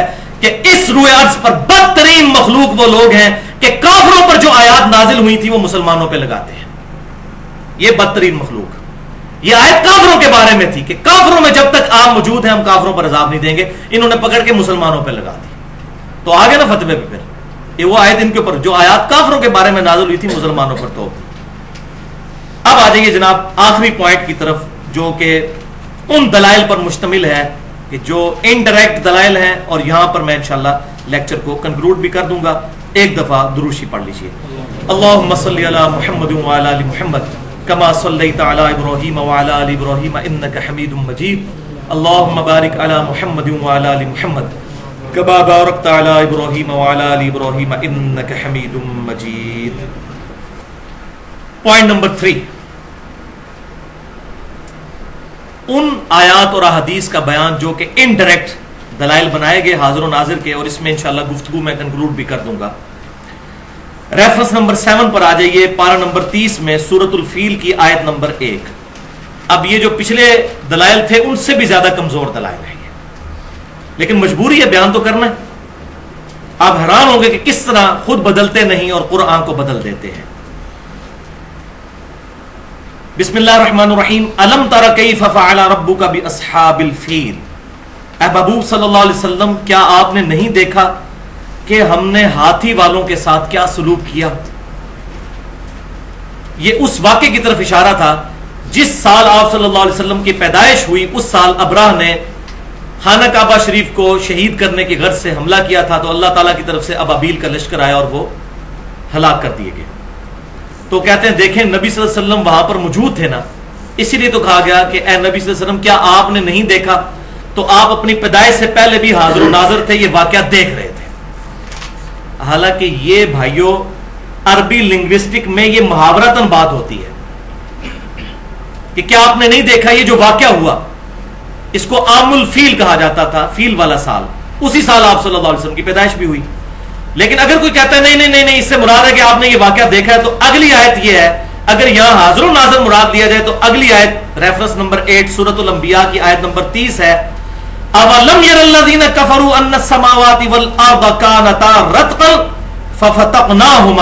क्या काफरों नहीं देखा कि ज़मीन आसमान मिले हुए थे? हमने इनको फाड़ कर जुदा किया। तो काफिर तो उससे भी पहले के हाजिर नाजिर है। ज़मीन आसमान यानी बिग बैंग के वक्त भी काफिर हाजिर नाजिर वही अल्फाज है। क्या काफरों ने नहीं देखा? वही अलम, यहाँ अवलम वजालना मिनल माकुल्ल शैन हई अफला युमिनून? और हमने हर ज़िंदा चीज़ को पानी से पैदा किया, क्या ये अब भी ईमान नहीं लाएँगे? तो काफरों ने नहीं देखा। मुराद क्या? कि ये कुदरत की सारी निशानियाँ उनके सामने मौजूद हैं। ये नहीं है कि उन्होंने बिग बैंग होते हुए देखी है। यानी कुदरत के ऊपर गौर करें। इस पे मेरा पूरा लेक्चर भी है who is Allah in the light of latest scientific facts मसला नंबर साठ के नाम से अल्लाह कौन है? जदीद साइंसी हकायक की रोशनी में, उसमें इसी आयत को मैंने बुनियाद बनाया है। बायोलॉजी के पॉइंट ऑफ़ व्यू से भी और एस्ट्रोनॉमी बिग बैंग के पॉइंट ऑफ़ व्यू से इसी तरह एक और आयत मुबारक को पेश करते हैं, सूरतुल बकरा आयत नंबर चौवन। व इलकाला मूसा कौमी ही और याद करो वो वक्त जब मूसा इस्लाम ने अपनी कौम से कहा था। ये कुरान का स्टाइल है कहने का कि वो वक्त याद करो। वो कहते हैं, नहीं याद उसको करवाया जाता है जो उस वक्त मौजूद था। तो नबी सल्लल्लाहु अलैहि वसल्लम वहाँ पर मौजूद थे। इसलिए कहा जा रहा है कि याद करो वो वक्त। भाइयों, ये इसलिए नहीं कहा जा रहा। ये इसलिए कहा जा रहा है कि नबी सल्लल्लाहु अलैहि वसल्लम के ज़रिए से उम्मत तक ये पैगाम पहुँचाया जा रहा है। मूसा के बारे में जितने वाकयात बयान करके कि आप सल्लल्लाहु अलैहि वसल्लम ये वाकयात उम्मत तक पहुँचाए, जो आपकी नबूत पर दलील बनेंगे कि आपकी पैदाइश से 2000 साल पहले मूसा इस्लाम और उनके साथियों के मामला हुए और आपकी पैदाइश से तकरीबन 500 साल पहले ईसा इस्लाम उनकी वालदा के मामला हुए और वो वाकयात भी आप बयान कर रहे हैं, हालाँकि आपने कहीं से कोई तालीम नहीं हासिल की। अल्लाह ने आपको सिखाया है। उसके बावजूद आप अपनी पैदाइश से पहले के वाकयात भी बयान कर रहे हैं। ये इस बात की दलील है कि आप पर वही नाजिल होती है। खुद नहीं जानते, वही नाजिल होती है। और उसकी दलील अगली आयात सूर्य इमरान आयत नंबर चवालीस। रेफरेंस नंबर टेन दालिका गैब की खबरें हैं जो हम आपकी तरफ़ वही करते हैं। आपसे पैदाइश की पहले की बातें। वमा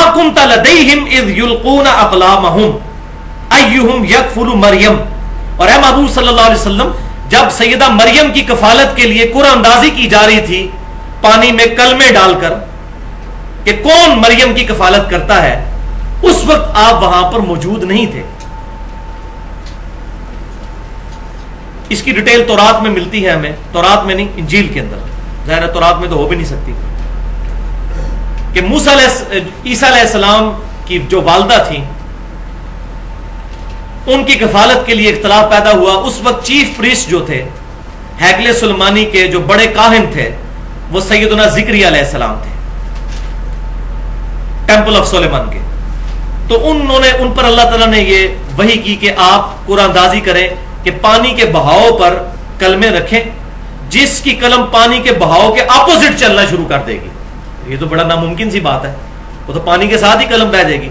तो जिसकी अपोजिट चलेगी ना तो वो कफालत करेगा सईदा मरियम की। तो सईदना जिक्रिया सलाम की अपोजिट चलना शुरू हो गई थी तो वो खालू भी थे सईदा मरियम के।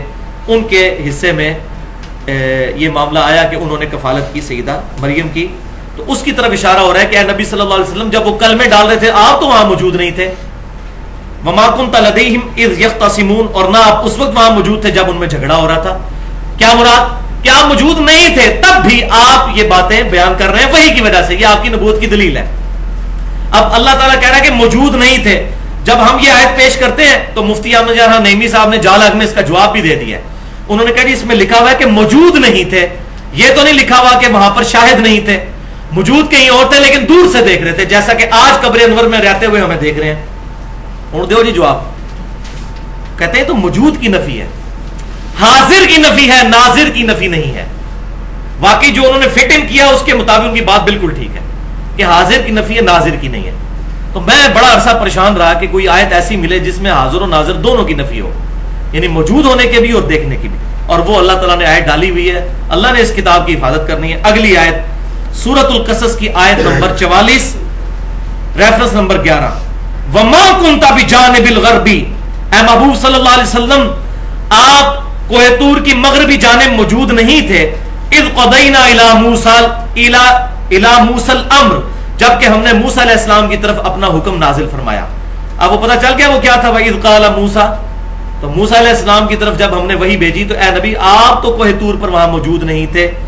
वमा शाहिदीन, और ना ही आप गवाहों में शामिल थे, ना ही आप नाजिर थे। क्या मतलब? वमा था ना तो आप हाजिर थे वमा कुन तमिन शाहिदीन और ना ही आप नाजिर थे। अब आप सोच रहे होंगे, इस आयत का तो जवाब दिया ही नहीं जा सकता। वाकई नहीं दिया जा सकता। इसका जवाब देने के लिए इंसान को अपने ईमान से हाथ धोना पड़ेगा। और वही किया मुफ्ती अहमद यार खान नईमी साहब ने, कि उन्होंने आयत आदि लिखी। वमा कुंता मिन शाहिदीन लिखे ही नहीं जाल हक के अंदर। और जवाब दिया कि इसमें तो यह लिखा हुआ कि हजूर वहाँ मौजूद नहीं थे। यह कहाँ लिखा हुआ कि हजूर शाहिद भी नहीं थे?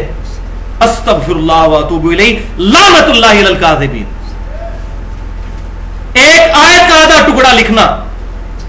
अफतुमिनून बिबादल किताब व तकफुरून बिबाद। किताब के कुछ हिस्से पर ईमान लाते हो, कुछ को छोड़ देते हो। अब जवाब लिखते हुए उसको नहीं नज़र आ रहा था कि ये आदि लैन की ये आयत है। मैं आदि लिख रहा हूँ। फिर जवाब भी ऐसा लिखा कि जिसके बाद उसने जन कायम ही नहीं रह सकता कि उनको आयत पता नहीं चली होगी, उसके अपोजिट बात लिखी। और अहमद ब्रिलवी साहब के भी कान खड़े हो गए इस मौके पर। ये तो सारा बेड़ा गर्क हो जाएगा। पहले तो फ़र्क कर देते थे शाहिद और शहीद का। हमने तो शाहिद का तर्जुमा किया है, शहीद का जो है वो गवाही है, शाहिद का मतलब हाजर नाजिर है। अब यहाँ पर शाहिद था लफ शहीद नहीं था। ममाकुन था मैंने शाहिदीन। यहाँ तो उनको तर्जुमा करना पड़ना था हाजिर नाजर वाला। लेकिन आप हैरान होंगे कि किस दर्जे पर उन्होंने ख्यानत की। उन्होंने तर्जमा किया इसका नबी वसल्लम, ना तो आप वहाँ पर मौजूद थे और ना वहाँ पर हाजिर थे। शायद का तर्जुमा हाजिर कर दिया। नाजिर नहीं किया। पीछे सारा हाजिर नाजिर करते आए अब यहाँ तर्जमा क्या बनता था? ना आप हाजिर थे, ना नाजिर थे। तो उन्होंने दोनों ही एक तर्जमा कर दिया, ना तो आप मौजूद थे, ना हाजिर थे। आप देखें। इतने बड़े बड़े उलमा, ये देख। बस, वो एक बहुत बड़े आलिम इस्लामाबाद में, उनकी बात मुझे बड़ी पसंद है। वो कहते हैं कि बेटा, दुआ किया करो कि गेयर उल्टा ना लग जाए।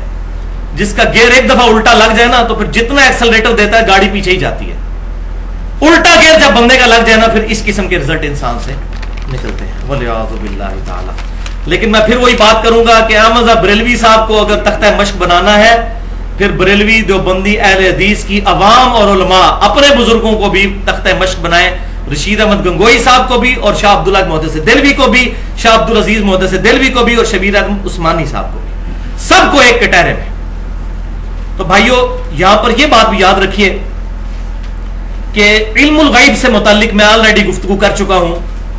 अट्ठासी मिनट की मसला नंबर सिक्स ए।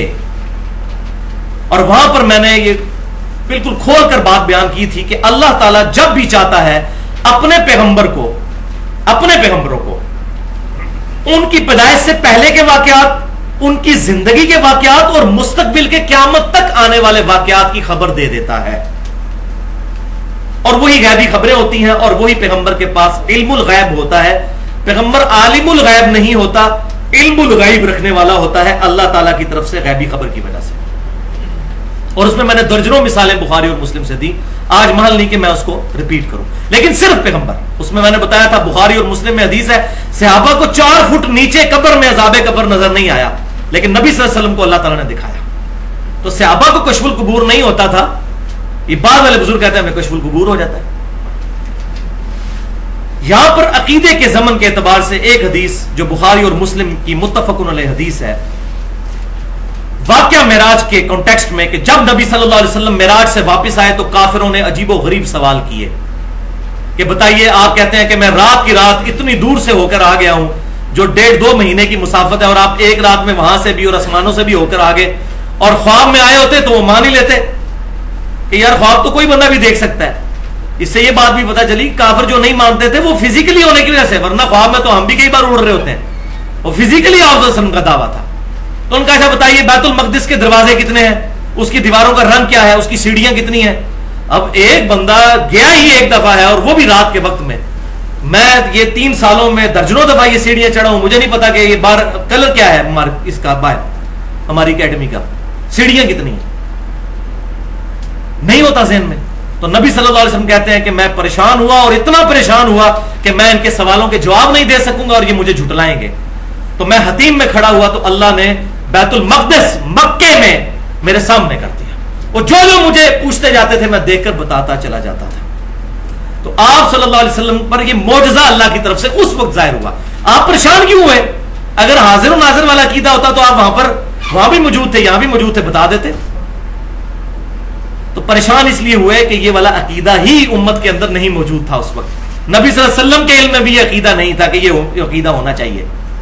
और मुस्लिम के अल्फाज है इंटरनेशनल नंबर के मुताबिक 430 नंबर हदीस है कि मैंने बैतुल मकदस में अंबिया की इमामत भी करवाई। इसी की वजह से इमामुल अंबिया कहा जाता है। एक बहुत बड़े बरेलवी आलिम हो मुझे कहने लगे, जी, आप तो हदीस हदीस करते हैं और कुरान हदीस करते हैं और आप कहते हैं इमामुल अंबिया तो कुरान हदीस से ये भी कोई नहीं साबित।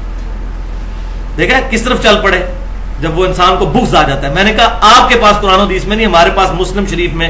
430 नंबर हदीस है किताबुल ईमान में कि नबी सल्लल्लाहु अलैहि वसल्लम ने अंबिया की इमामत फरमाई है बैतुल मकदिस में। इसलिए हम इमामुल अंबिया कहते हैं, अल्हम्दुलिल्लाह। तो खामोश हो गए।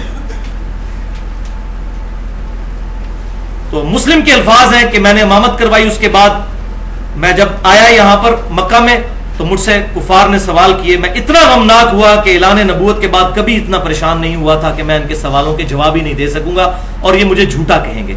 फिर अल्लाह ने बैतुल मकदस को मेरे सामने कह दिया।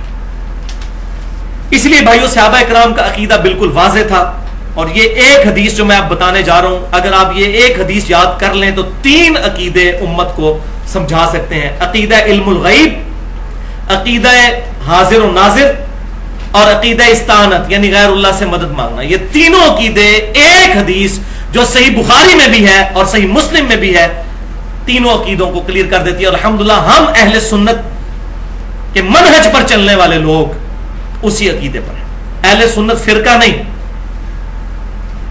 शराब की बोतल के बाहर रू अफजा लिख लेने से रू अफजा नहीं बन जाएगी, ये जामे शरी नहीं बन जाएगी। अहले सुन्नत वही होंगे जो किताब सुन्नत के मनज पर होंगे। ये तीनों अकीदे, सही बुखारी में चार हज़ार छियासी नंबर और सही मुस्लिम में चार हज़ार नौ सौ सत्रह नंबर हदीस है। तीनों अकायद क्लियर करेगी और हमारे रिसर्च पेपर नंबर थ्री, दुआ सिर्फ़ अल्लाह ही से, उसके भी पेज नंबर फाइव के ऊपर यह हदीस मौजूद है पूरे रेफरेंसेस के साथ। ये दो मुख्तलिफ़ वाकयात हैं। मुस्लिम के चार हज़ार नौ सौ सत्रह के मैं अल्फाज पढ़ने लगा हूँ कि जब सत्तर सहाबा को धोखे से शहीद कर दिया गया जिसके गम में नबी सल्लल्लाहु अलैहि वसल्लम ने एक महीने तक कुनूत नाजला भी, कुफार के लिए दुआए जरर भी फरमाई थी। जब उनको धोखे से शहीद किया गया तो आप सल्लल्लाहु अलैहि वसल्लम मदीना शरीफ में थे और दूसरी जगह पर उनको शहीद किया गया तो आप सल्लल्लाहु अलैहि वसल्लम गमनाक हालत में वहाँ बैठे हुए थे और फरमाया कि अभी अभी जिब्राइल सलाम मेरे पास आए उन्होंने अल्लाह की तरफ़ से मुझे ये इतला दी है कि तुम्हारे साथियों को धोखे से शहीद कर दिया गया। सत्तर हजूर के टैलेंटेड स्टूडेंट असाब सुबह में से। जो हजूर ने तालीम के लिए भेजे। और उन्होंने शहादत के वक्त तुम्हारे रब के हजूर यूँ दुआ की अल्लाह नबीना रब हमारे हमारे नबी तक हमारा पैगाम पहुँचा दे। उन्होंने कहा फरिश्तों, ये पैगाम दे दो। फरिश्तों को पुकारना भी शिरक है। अल्लाह, तू हमारे नबी को हमारे हाल की खबर करते अल्लाह ने इज़्ज़त दिया हो, तब भी पुकारना शिरक हज़रत मिकाईल इस्लाम और फरिश्तों को इजन है ना बारिश बरसाने का अल्लाह की तरफ़ से? तो हम क्या कहेंगे मिकाईल बारिश बरसा दो कि गर्मी का मौसम करीब आ रहा है? नहीं। अरब हमारे हमारे नबी को हमारे हाल की खबर कर दे। अन्ना कद लकीन का फरदीन अन का कि हम बेशक तुझसे मिल चुके इस हाल में कि हम अपने रब से राज़ी हैं। वरदीता अन्ना, और ए हमारे रब, तू हमसे राज़ी है। हमारे नबी तक ये पैगाम पहुँचा। और हजूर अलैहि वसल्लम वहाँ अश्क बार आँखों के साथ अपने सहाबा को बता रहे हैं कि तुम्हारे साथियों ने ये दुआ की। अब इसमें तीनों कीदे क्लियर हो गए। उन्होंने, या रसूल उनजुर हालाना, नहीं कहा। हुजूर को मदद के लिए नहीं पुकारा। अकीदा इस्तानत क्लियर हो गया। उनका यह भी अकीदा नहीं था कि नबी सल्लल्लाहु अलैहि हर वक्त हर चीज़ को देख रहे हैं। और यहाँ पे भी मौजूद है हाजर नाजर, वो भी अकीदा। और इल्मुल गैब के हवाले से भी उनका अकीदा क्लियर हुआ कि अल्लाह तू हमारे नबी को खबर कर देना। तेरे बताए बगैर हमारे नबी तक यह खबर नहीं पहुंचेगी। और उन्होंने यह भी नहीं कहा जिब्राइल हमारे नबी को खबर कर देना। लिहाजा फरिश्तों को भी नहीं पुकारा। जिब्राइल जब दुनिया में आ रहे थे, उस वक्त भी नहीं पुकारा। अब रहा मसला रसूलुल्लाह सल्लल्लाहु अलैहि वसल्लम की दुनियावी ज़िंदगी के बाद आज की जो ज़िंदगी है, कब्र मुबारक और जन्नत की बरजखी ज़िंदगी, क्या हम उस ज़िंदगी में अल्लाह ताला को यह कह सकते हैं कि, अल्लाह, हमारे नबी तक हमारी खबर पहुँचा दे? तो भाइयों, इसका कोई सबूत मौजूद नहीं, सवाए एक चीज़ के। और वो क्या है? दुरू शरीफ। और वो हम कहते हैं अल्लाह वाली कमा वाला इन्नका हमीदुम मजीद। अल्लाहुम्मा बारिक अला वाला कमा इब्राहीम वाला इन्नका हमीदुम मजीद। दुरू शरीफ हमारा पहुँचता है, मैं कितनी हदीस बता चुका, इसी लेक्चर में पॉइंट नंबर टू के अंदर। दुरूद सलाम पहुँचता है, अस्सलाम वालेकुम नबीयू पहुँचता है, बस। इसके अलावा कुछ और नहीं पहुँचा सकते। बल्कि सही बुखारी में इंटरनेशनल नंबर के मुताबिक 1010 नंबर हदीस जो हमारे रिसर्च पेपर नंबर वन रसूलुल्लाह की आखिरी वसीयत है, उसमें भी लिखी हुई है कि सैदना उमर फारूक रदी अल्लाह तु के मुबारक दौर में जब कहत साली होती तो अब अब्बास बिन अब्दुल मुतलिब को वो लेकर आते और कहते अल्लाह, जब तक तेरे नबी हम मौजूद थे, हम उनको तेरी बरगाह में पेश करते थे, उनकी दुआ की बरकत से तू हम पर बारिश नाजिल फरमा देता था। अब आप सल्लल्लाहु अलैहि वसल्लम की वफात के बाद हम आप सल्लल्लाहु अलैहि वसल्लम के चचा को लेकर आए हैं। अल्लाह पर बारिश नाजिल फरमा। वो चचा दुआ करते तो बारिश नाजिल हो जाती। सैयदुल्ला उमर हुजूर वसल्लम की कब्र अनवर पर भी जाकर ये नहीं कहते थे, या रसूलुल्लाह, अल्लाह से दुआ कीजिए। कह सकते थे। हालाँकि हज़रत उमर वो है जो बुखारी में हदीस है कि सैदना उमर के मशवरे पर नबी वसल्लम ने अपनी मुबारक उंगलियाँ प्याले में रखी थी और पानी के चश्मे जारी हुए थे। लेकिन उन्होंने नहीं कहा, या रसूलुल्लाह, सल्लल्लाहु अलैहि वसल्लम, कब्र अनवर से हाथ बाहर निकालिए। प्यानी का, पानी का मैं प्याला लेकर उसमें हाथ रखिए ताकि चश्मे जारी हो जाए। जैसा कि शेख जकरिया साहब ने फजाइल हाज में लिखा और इलियास कादरी साहब ने फजान सुन्नत में पाँच सौ पचपन हिजरी में शेख अहमद रफाई के लिए नबी सल्लल्लाहु अलैहि वसल्लम ने नब्बे हज़ार लोगों की मौजूदगी में अपना हाथ मुबारक बाहर निकाल दिया। वो मैंने पिछले लेक्चर सिक्स बी में कशफ ख्वाबों से मुतालिक, इल्हाम से मुतालिक उसमें डिटेल से उसका एनालिसिस किया है। तो सईदना उमर ने उम्मत को यह अकीदा सही वक्त, जो वसीला शख्सी है, वो समझा दिया। अब एक ज़रिया है ख्वाब, कि ख्वाब में नबी सल्लल्लाहु अलैहि वसल्लम किसी को आ जाए। मैंने पिछली दफ़ा डिटेल से डिस्कस किया था, सही मुस्लिम से सुनबी दाऊद से, मुस्नद अहमद से सहाबा के बाद भी ताबईन, तबा ताबईन, तबा तबा ताबईन को भी नबी वसल्लम ख्वाब में आए और उस वक्त के हालात के ऊपर डिस्कशन की। मसलन सैदना हुसैन की जो शहादत है, वो पचास साल बाद हुई है। लेकिन नबी वसल्लम इबन अब्बास को ख्वाब में आया जो मुस्नद अहमद में मौजूद है। पिछली दफ़ा मैंने कई ख्वाब बताए।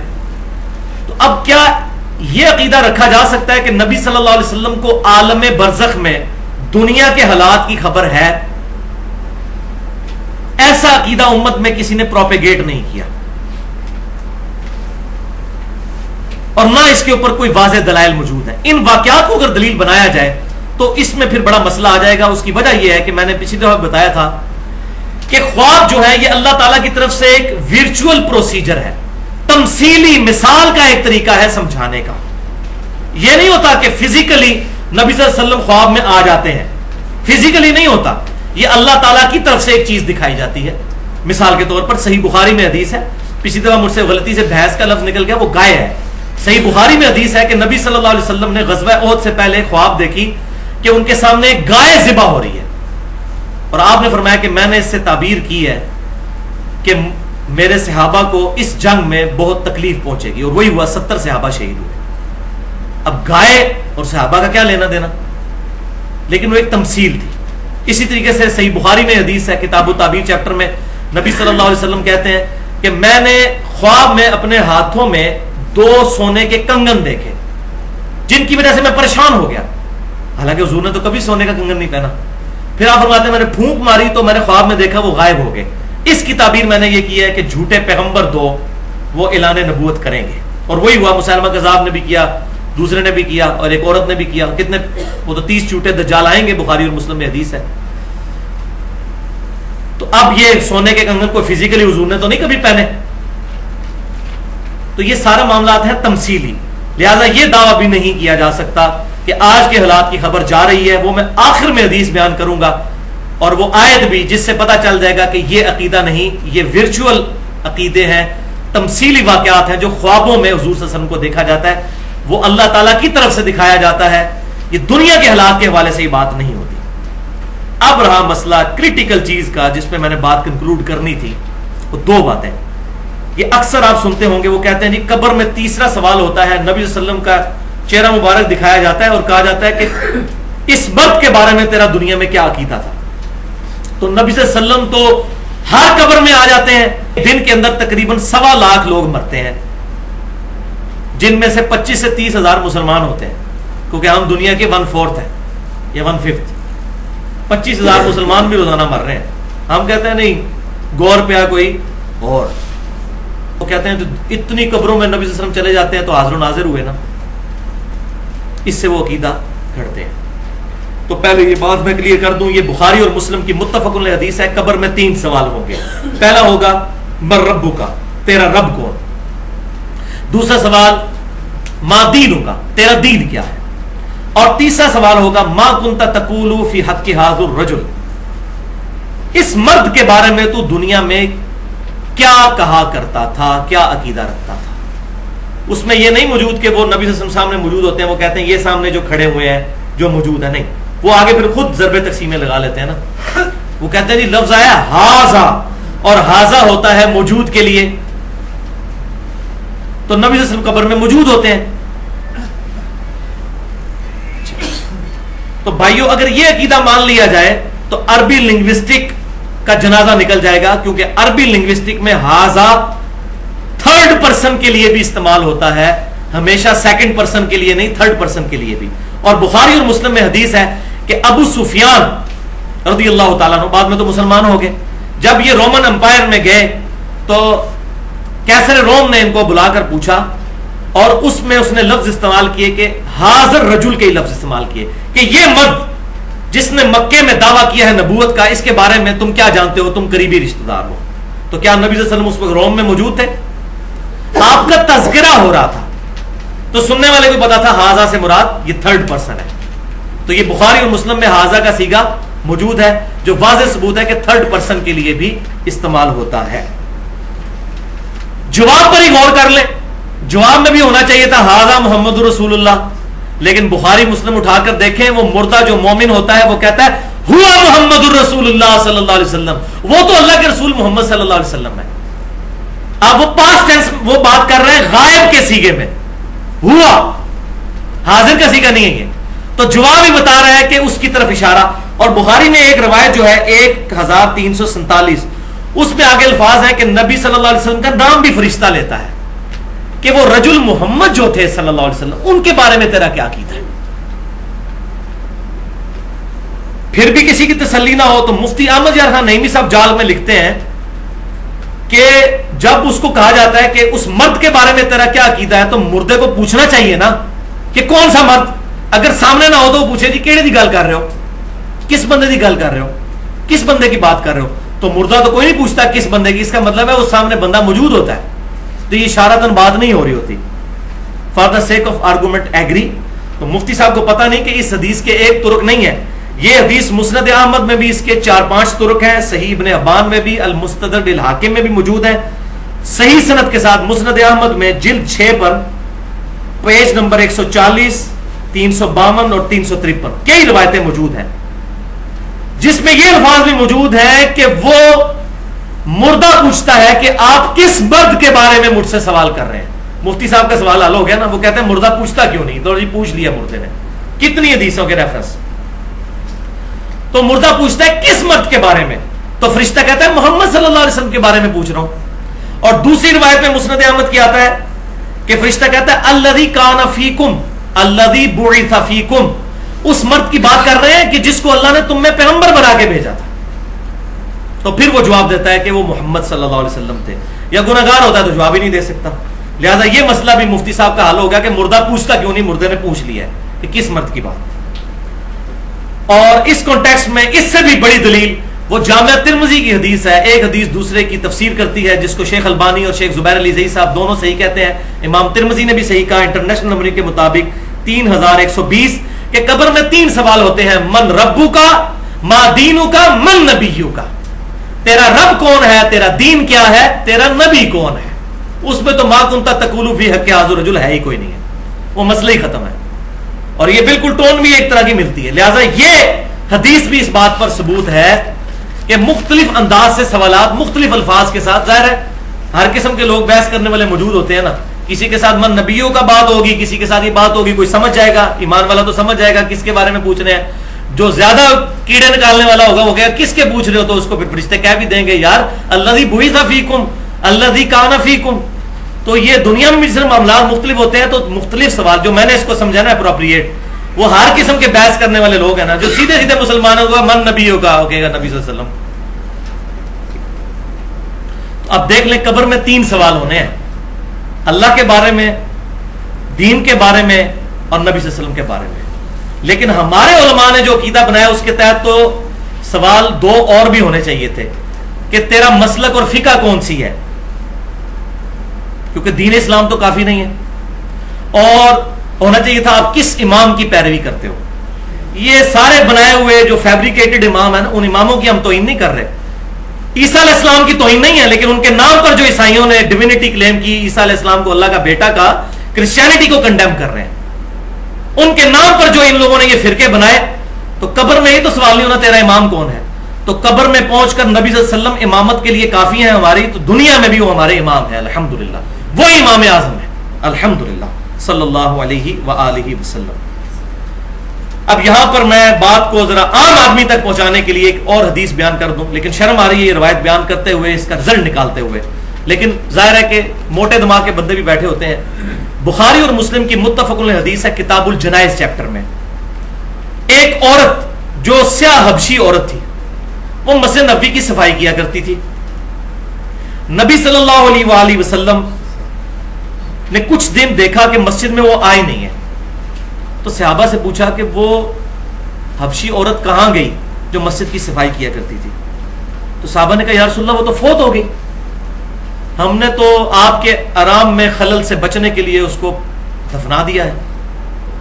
तो नबी सल्लल्लाहु अलैहि वसल्लम नाराज़ हुए और आपने फरमाया, तुमने मुझे खबर क्यों नहीं की?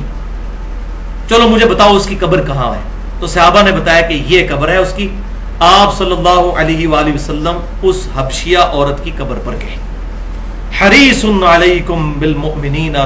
रहीम। नबी सल्लल्लाहु अलैहि वसल्लम मोमिनीन की जानों पर, उनकी जानों से भी बढ़कर हिर्स फरमाने वाले सहाबा तो उसको आम औरत समझ रहे थे, लेकिन हजूर वसल्लम के नज़दीक उसका यह मुकाम था कि मस्जिद की सफ़ाई करने वाली औरत थी। सहाबा ने भी उसको एक हकीर समझा कि हबशी औरत सफ़ाई करने वाली। तो नबी सल्लल्लाहु अलैहि वसल्लम उसकी कब्र कब्र पर गए, कब्र पे जाके जनाजा पड़ा। और मुस्लिम के अल्फाज हैं कि आप सल्लल्लाहु अलैहि वसल्लम फरमाते हैं कि मेरे सिर्फ़ कब्रिस्तान आने की वजह से। अल्लाह अकबर कबीरा। ये कब्रें जो कि तारीकी में डूबी हुई थी, अल्लाह ने सब कब्रों को नूर से भर दिया है। अच्छा वो कब्रें किन की थी? सियाबा की। ज़ाहिर है, काफरों की कब्रों को तो हजूर के ऐसे नूर से नहीं भरा गया। काफिर के लिए तो कुछ नहीं है। तो अंदाज़ा करें कि मामला कितना नाजुक है। यहाँ लोग कहते हैं, शेख अब्दुल कादर जलानी के मुरीद हो जाओ, वो कहते हैं, मैं उस वक्त तक जन्नत में नहीं जाऊँगा जब तक सारे मुरीद न ले जाऊँ.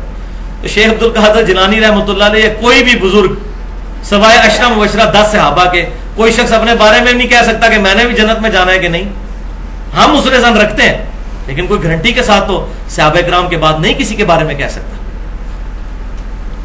अल्लाह तो अब इससे एक रिज़ल्ट यह भी निकला कि नबी सल्लल्लाहु अलैहि वसल्लम को नहीं पता था कि वो फौत हो चुकी है। आपने उनको कहा कि मुझे बताया क्यों नहीं? फिर आप ने कहा, कब्र की निशानदेही करो। फिर इससे भी आपको कहने जी, अंदरों पता सी, वैसे नहीं सन कहते। तो नबी सलीमुल फितरत होता है, ऐसा जुमला बोलना ही गुस्ताखी है।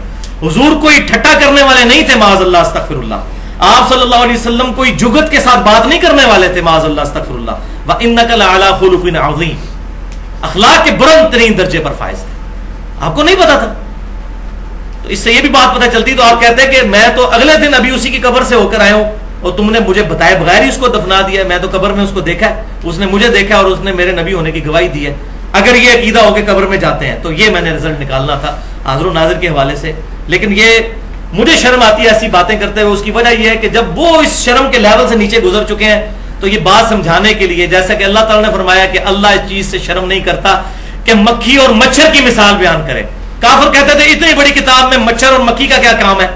छोटी अकीब चीज़। अल्लाह ने फरमाया कि बात समझाना मकसद है, कोई इल्मी झाड़ना मकसद नहीं है। तो मैं भी अल्लाह की उसी सुन्नत पर अमल कर रहा हूँ कि बात समझाना मकसद है, चाहे मिसाल कोई भी देनी पड़ती है। हाँ जी, आखिरी आयत खोल लीजिए अब यह है वो आयत जिस पे बात कंक्लूड होनी थी। सही बुखारी और सही मुस्लिम की मुतफक हदीस आके खोलने जनाब और परेशान हो जाए। ये आयत सुनकर और ये हदीस। सही बुखारी में इंटरनेशनल नंबरिंग के मुताबिक तीन हज़ार तीन सौ उनचास, सही मुस्लिम में सात हज़ार दो सौ एक और बुखारी और मुस्लिम में कम अज कम आठ आठ तुर्क इसके मौजूद है। आठ आठ तुर्क। हौजे कोसर वाले चैप्टर में कि नबी सल्लल्लाहु अलैहि वसल्लम कहते हैं कि मेरे हौजे कोसर पर क्यामत वाले दिन कुछ लोगों को लाया जाएगा, जिनको मैं पहचानता हूँ। और कुछ रवायतों में है कि कुछ मेरे जानने वाले लोगों को दोजक की तरफ़ रिश्ते घसीट रहे होंगे। मैं कहूँगा, असहाबी असहाबी, ये मेरे सिहाबा हैं, ये मेरे सिहाबा हैं। तो मुझे बताया जाएगा, मेरे उनके दरमियान एक दीवार खड़ी कर दी जाएगी। और मुझे बताया जाएगा, अल्लाह के नबी सल्लल्लाहु अलैहि वसल्लम, आपको नहीं मालूम कि आपकी वफात के बाद ये लोग दीन से उल्टे कदम फिर गए थे और इन्होंने दीन में बिदअतें जारी कर दी थी। आप फरमाते हैं, मैं कहूँगा, सहकन सहकन लिमन गैर आबादी सहकन सहकन लिमन बदल आबादी। इन पर फिटकार हो, इनको मुझसे दूर कर दो, जिन्होंने मेरी वफात के बाद मेरे दीन को बदल दिया। बोले ताला। और बुखारी और मुस्लिम में मौजूद है। रावी कहते हैं, इससे मुराद वो लोग हैं, वो सिहाबा हैं जो हुजूर की वफात के बाद मुर्तद हो गए थे। मुसलमान कजाब के साथ मिल गए। मुनकरीन जक़ात कितने कबाइल मुर्तद हो गए। इसीलिए तो हजूर ने फरमाया था सुनबिदाऊ जाम तिरमजी माजा की सही हदीस है। अलैकुम व सुन्नतिल खुलफाए राशिदीन अलमहदीन वो पूरी हदीस इस तरह है कि मेरी वफात के बाद इतने इख्तलाफात पैदा हो जाएँगे तो तुम पर मेरी और मेरे खुलफा राशिदीन की सुन्नत लाजिम है। तो हम, अल्हम्दुलिल्लाह खुलफा राशिदीन की तमाम के तमाम किताल, चाहे वो सैदना के हों या सईदना अबू बकर के हों, या सईदना उमर के हों, या सईदना उस्मान के। इन तमाम मामला में हम खुलफा राशदीन को हक पर मानते हैं अलहमदुल्ला तो ये कबाइल मुर्तद हो गए थे। है सहाबा थे जूर को देखा था ईमान की हालत में, लेकिन बाद में ईमान पर कायम नहीं रहे। बोले ताला। बड़ा नाजुक मामला है। इस पर मैंने बड़ी खतरनाक गुफ्तु भी की है। मसल नंबर चौंतीस के नाम से मुनाफ्त की तारीफ़, उसकी इकसाम और उसकी मिसालें, और उसमें मैंने बताया कि बड़े बड़े सहाबा भी डरते थे कि हमारी ईमान पर मौत हो। अल्लाह से दुआएँ करते थे। तो एक रवायत जिसका मैंने हवाला दिया, बुखारी और मुस्लिम का इंटरनेशनल नंबर, ये हदीस आगे भी चलती है, असहाबी असहाबी। जो ये अक्सर हमारे लोग दूसरे मकतब फ़िक्र के भाइयों पर लगा रहे होते हैं कि ये बिदती, ये इसमें तवील खास में तो सहाबा के बारे में ये जो बाद में मुर्तद हुए। असहाबी असहाबी, आगे अल्फाज हैं कि आप सल्लल्लाहु अलैहि वसल्लम फरमाते हैं, जिसका मैंने हवाला पढ़ा, बुखारी तीन हज़ार तीन सौ उनचास, मुस्लिम सात हज़ार दो सौ एक कि मैं उस वक्त वही कहूँगा जो अब्द साले ईसा इबन मरियम कहेंगे। मायदा का आखिरी रुकू है। ईसा अपने मानने वालों से ऐलान बरात कर देंगे। तो हजूर कहते हैं, मैं भी ऐलान बरात कर दूँगा। मैं उस वक्त वही कहूँगा, बिस्मिल्लाहिर्रहमानिर्रहीम मायदा, आयत नंबर 117 आपके रेफरेंस पे आखिरी आयत नंबर 12 और इमाम बुखारी ने इस आयत को हेडिंग बनाया किताब तफसीर चैप्टर में। वकुम तु अलैहिम शहीदम मा दुम तु फीहिम। अल्लाह, जब तक मैं अपने इन सहाबा में मौजूद था, इन पर गवाह था, इन पर गवाह था। या हाजर नाजर, उस वक्त तो सामने मौजूद थे। फलम्मा तवफ़ई तनी लेकिन जब तूने मुझे पूरा किया, उठा लिया, कुंता अंतर रकीबा अलहिम, उस वक्त तू ही उन पर गवाह था। वह अंत अला कुल्ली शहीन शहीद, और हर चीज़ पर गवाह हाजिर। के बजाय आलिम नाजिर, तू ही है, यही हुई शहीद लफ्ज। यहाँ पर अब शहीद लुगत के मानों में आया है, इस्तलाह के मानों में नहीं। कि अल्लाह ताला हर चीज़ पर गवाह है, ये वो है। वो जो, वो शहीद है, वो तो उम्मत भी है शहीद, शहादत अलन्नास तो जब तूने मुझे उठा लिया, फिर तू ही इन पर गवाह था, और अगली आयत फिर चलती है अल्लाह, अब ये तेरे बंदे हैं, चाहे इनको अजाब दे, चाहे इनको बख्श दे। तो अल्लाह ताला फरमाएगा, आज का दिन वो है, जिस दिन सच्चों को सच्चा अकीदा नफा देगा बख्शिश शशिश कोई नहीं है जिसने नबी सल्लल्लाहु अलैहि वसल्लम की मुखालफत पर अकायद खड़े। इस हदीस के साथ बुखारी और मुस्लिम में मशहूर ताबी जो ये हदीस रवायत करते थे, अब्दुल्ला बिन अबी मुलैका अलैह, वो कहा करते थे और वही हमारी आखिर में दुआ है। इसी हदीस बुखारी और मुस्लिम में ये देखें कैसी करामत हुई है कि आखिर में दुआ भी वही आ रही है। बुखारी और मुस्लिम की यही असहाबी असहाबी वाली हदीस के एंड पे दुआ है। अब्दुल्ला इब्ने अबी मुलैका कहते हैं अल्लाह हम तुझसे दुआ करते हैं कि तेरे नबी की वफात के बाद उनके दीन से उल्टे कदम ना फिरें। आमीन। अल्लाह ताला से दुआ है, जो हक बात मैंने कही, अल्लाह ताला हमारे दिलों में रासिक फरमाए। अगर जज्बात में मेरे मुँह से कोई गलत बात निकल गई तो अल्लाह ताला हमारे दिलों से माफ़ कर दे। हमें किताब सुन्नत की तालीमत पर अमल करके दूसरे भाइयों तक पहुँचाने की तोफीक अता फरमाए। सुबहानक अल्लाहुम्मा व बिहम्दिका, अशहदु अल्ला इलाहा इल्ला अंता, अस्तगफिरुका व अतूबु इलैक वमा अलैना इल्लल बलागुल मुबीन।